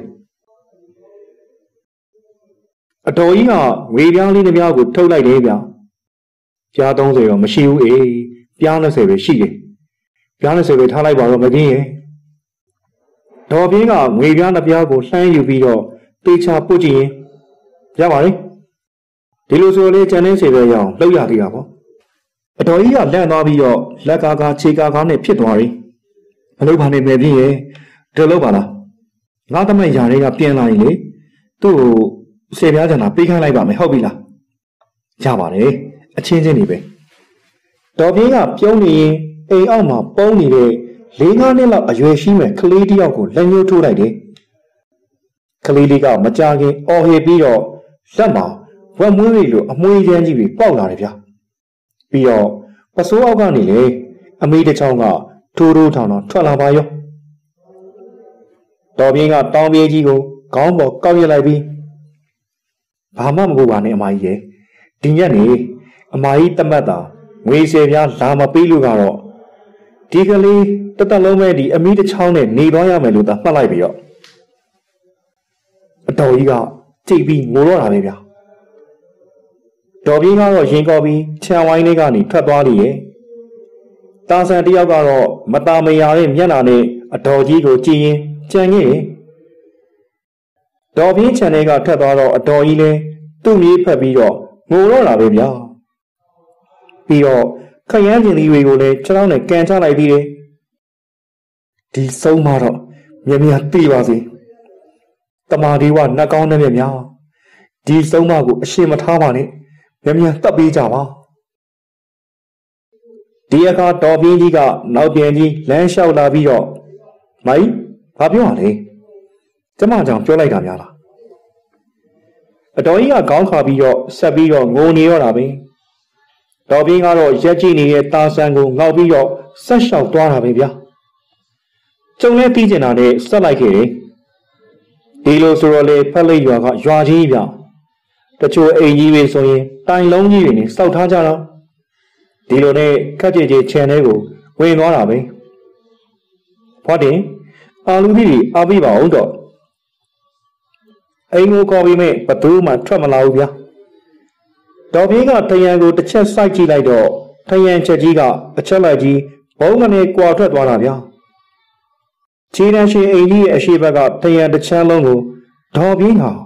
ပင်ကောင်နဲ့ဖြုတ်လိုက်တာဗျာထရန်ပြုတ်သွားတော့အိမ်ထဲပုံနေတဲ့လူတွေပေါ်လာတာပေါ့ဗျာဒီအချိန်မှာပဲဖျားလေကြီးတလိကလဲကျသွားရင်အချင်းကနေအဖွားကြီးတယောက်ထွက်လာတယ်ဗျာ ဟောဖွားတယ်မကြီးမငယ်နဲ့ဘာလို့တူတူပေါင်းနိုင်စော့နေရလဲဟုတ်ပါဘူးဟာငါတဘိုးရှာနေတာပါဖွားတယ်ဆိုတဲ့အဖွားကြီးကတုံတုံရင်ရင်နဲ့လေကားပေါ်ကနေဆင်းလာတယ်ဗျာထုံးစံတိုင်းတော်ပြင်းကဈေးရောက်တော့တာပေါ့ဈေးရောက်နေဆိုပေမဲ့သူကဓမြတိုက်နေလို့ပဲဗျာအာလူတွေကုန်ယူလိုက်ပါတော့ပြား30လောက်ပဲပြီ ဖွားတင်ကသူဝယ်ထားတဲ့ရှင်မီအင်းကြီးတွေကနေငွေပြားတွေကိုထုတ်ပြီးတယ်ဗျာတော်ပြင်းကငွေပြားတွေရတာနဲ့တောင်းပြေးကြီးကိုမြေပေါ်ကိုပြစ်ချလိုက်တယ်ဗျာဒီအချိန်မှာပဲတောင်းပြေးကြီးကလည်းထမ်းရက်ဆိုကြီးတရက်ဖြစ်သွားပြီးတော့အာလူတွေကလည်းအကုန်လုံးကြောက်ခဲတွေဖြစ်ကုန်တာပေါ့တော်ပြင်းကရည်ကျဲကျဲနဲ့အဝတာဆိုတော့ဖွားတင်ရေစားမကုန်ရင်အိမ်နီးနားချင်းတွေကိုလည်းခွဲကြည့်လိုက်ပါအောင်နော်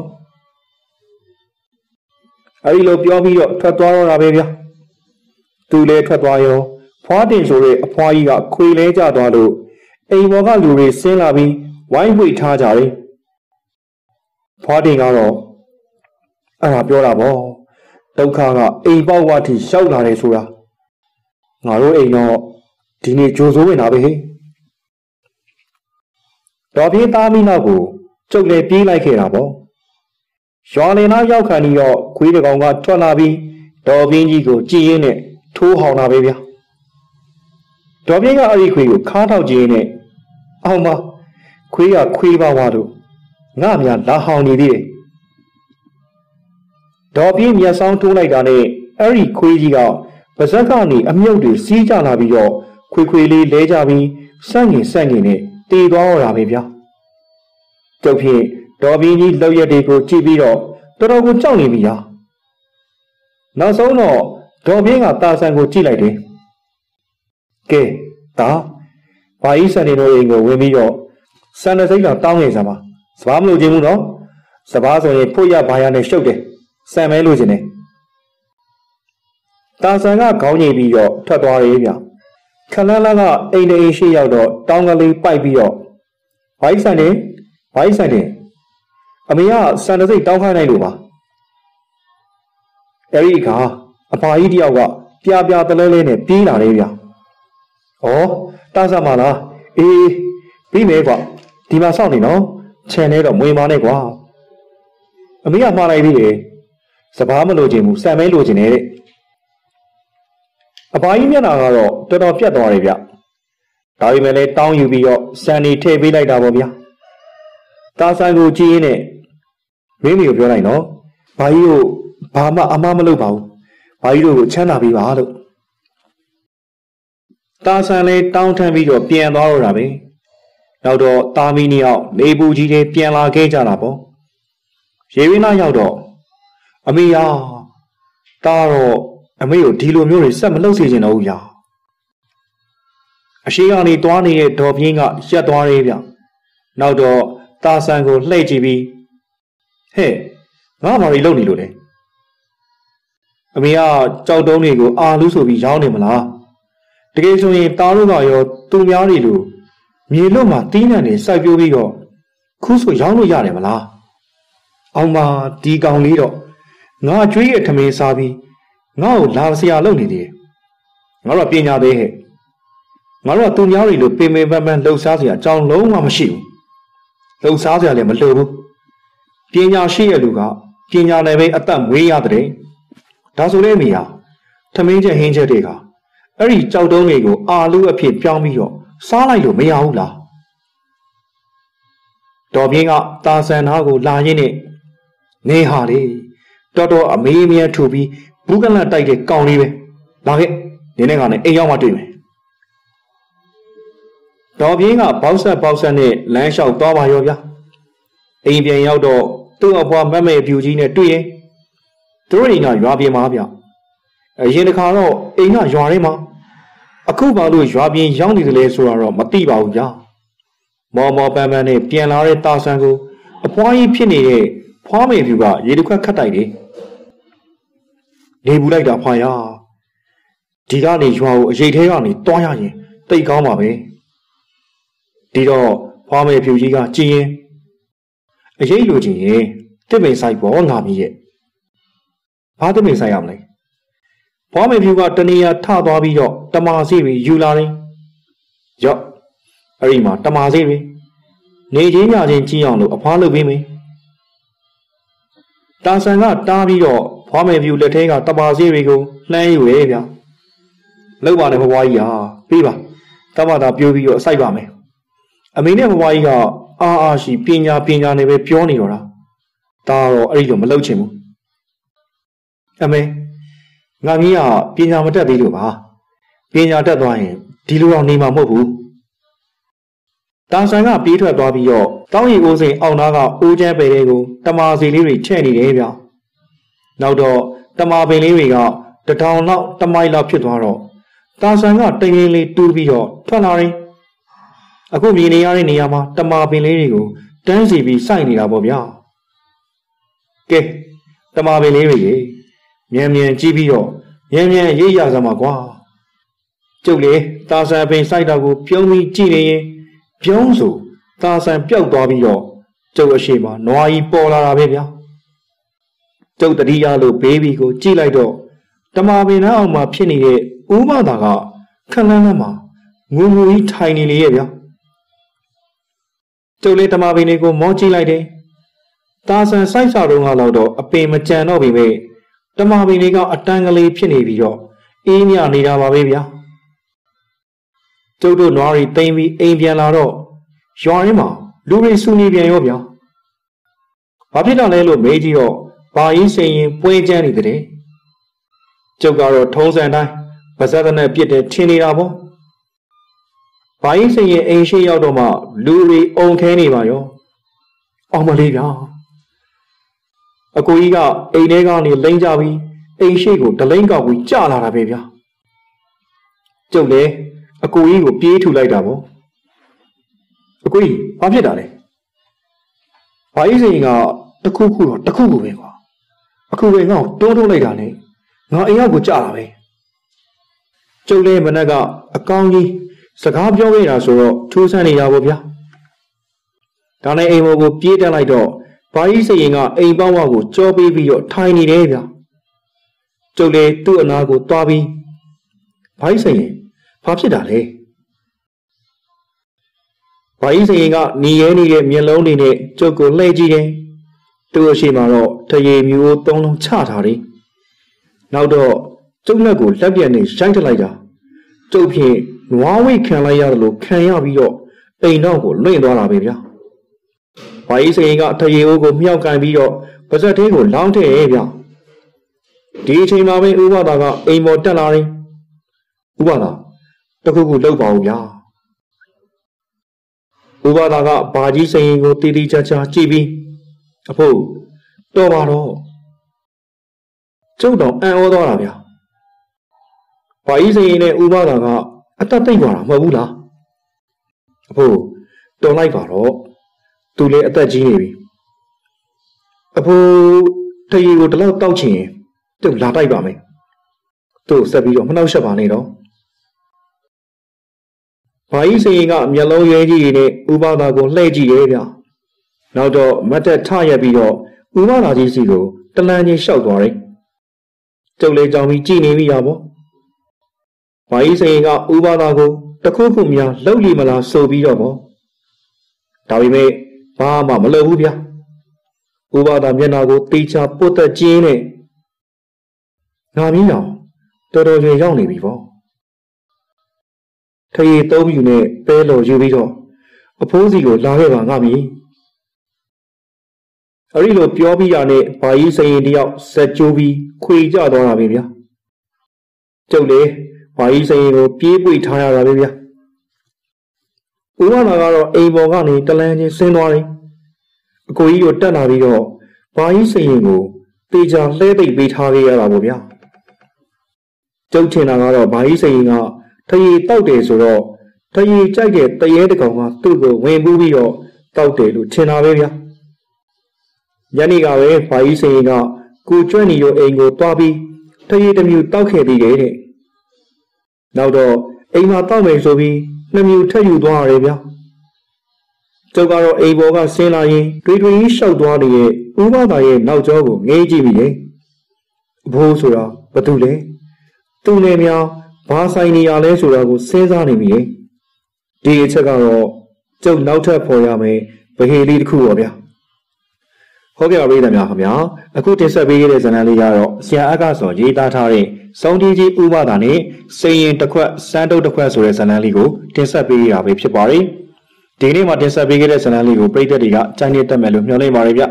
နောက်နေ့နောက်ရက်ဒီမှာလည်းကျွန်တော်ရဲ့ channel လေးကနေဒီလိုမျိုးစိတ်ဝင်စားစရာကောင်းတဲ့ဇာတ်လမ်းလေးတွေကိုတင်ဆက်ပေးတော့မှာပဲဖြစ်ပါတယ်နောက်ဆက်ပေးကြတဲ့ပရိသတ်တူတယောက်ချင်းစီကိုလည်းအထူးပင်ကျေးဇူးတင်ရှိပါတယ်ဗျဒီကနေ့ရဲ့ဇာတ်လမ်းလေးကိုတင်ဆက်ပေးခဲ့တဲ့သူကတော့ ကျွန်တော်ကိုခန့်ပဲဖြစ်ပါတယ်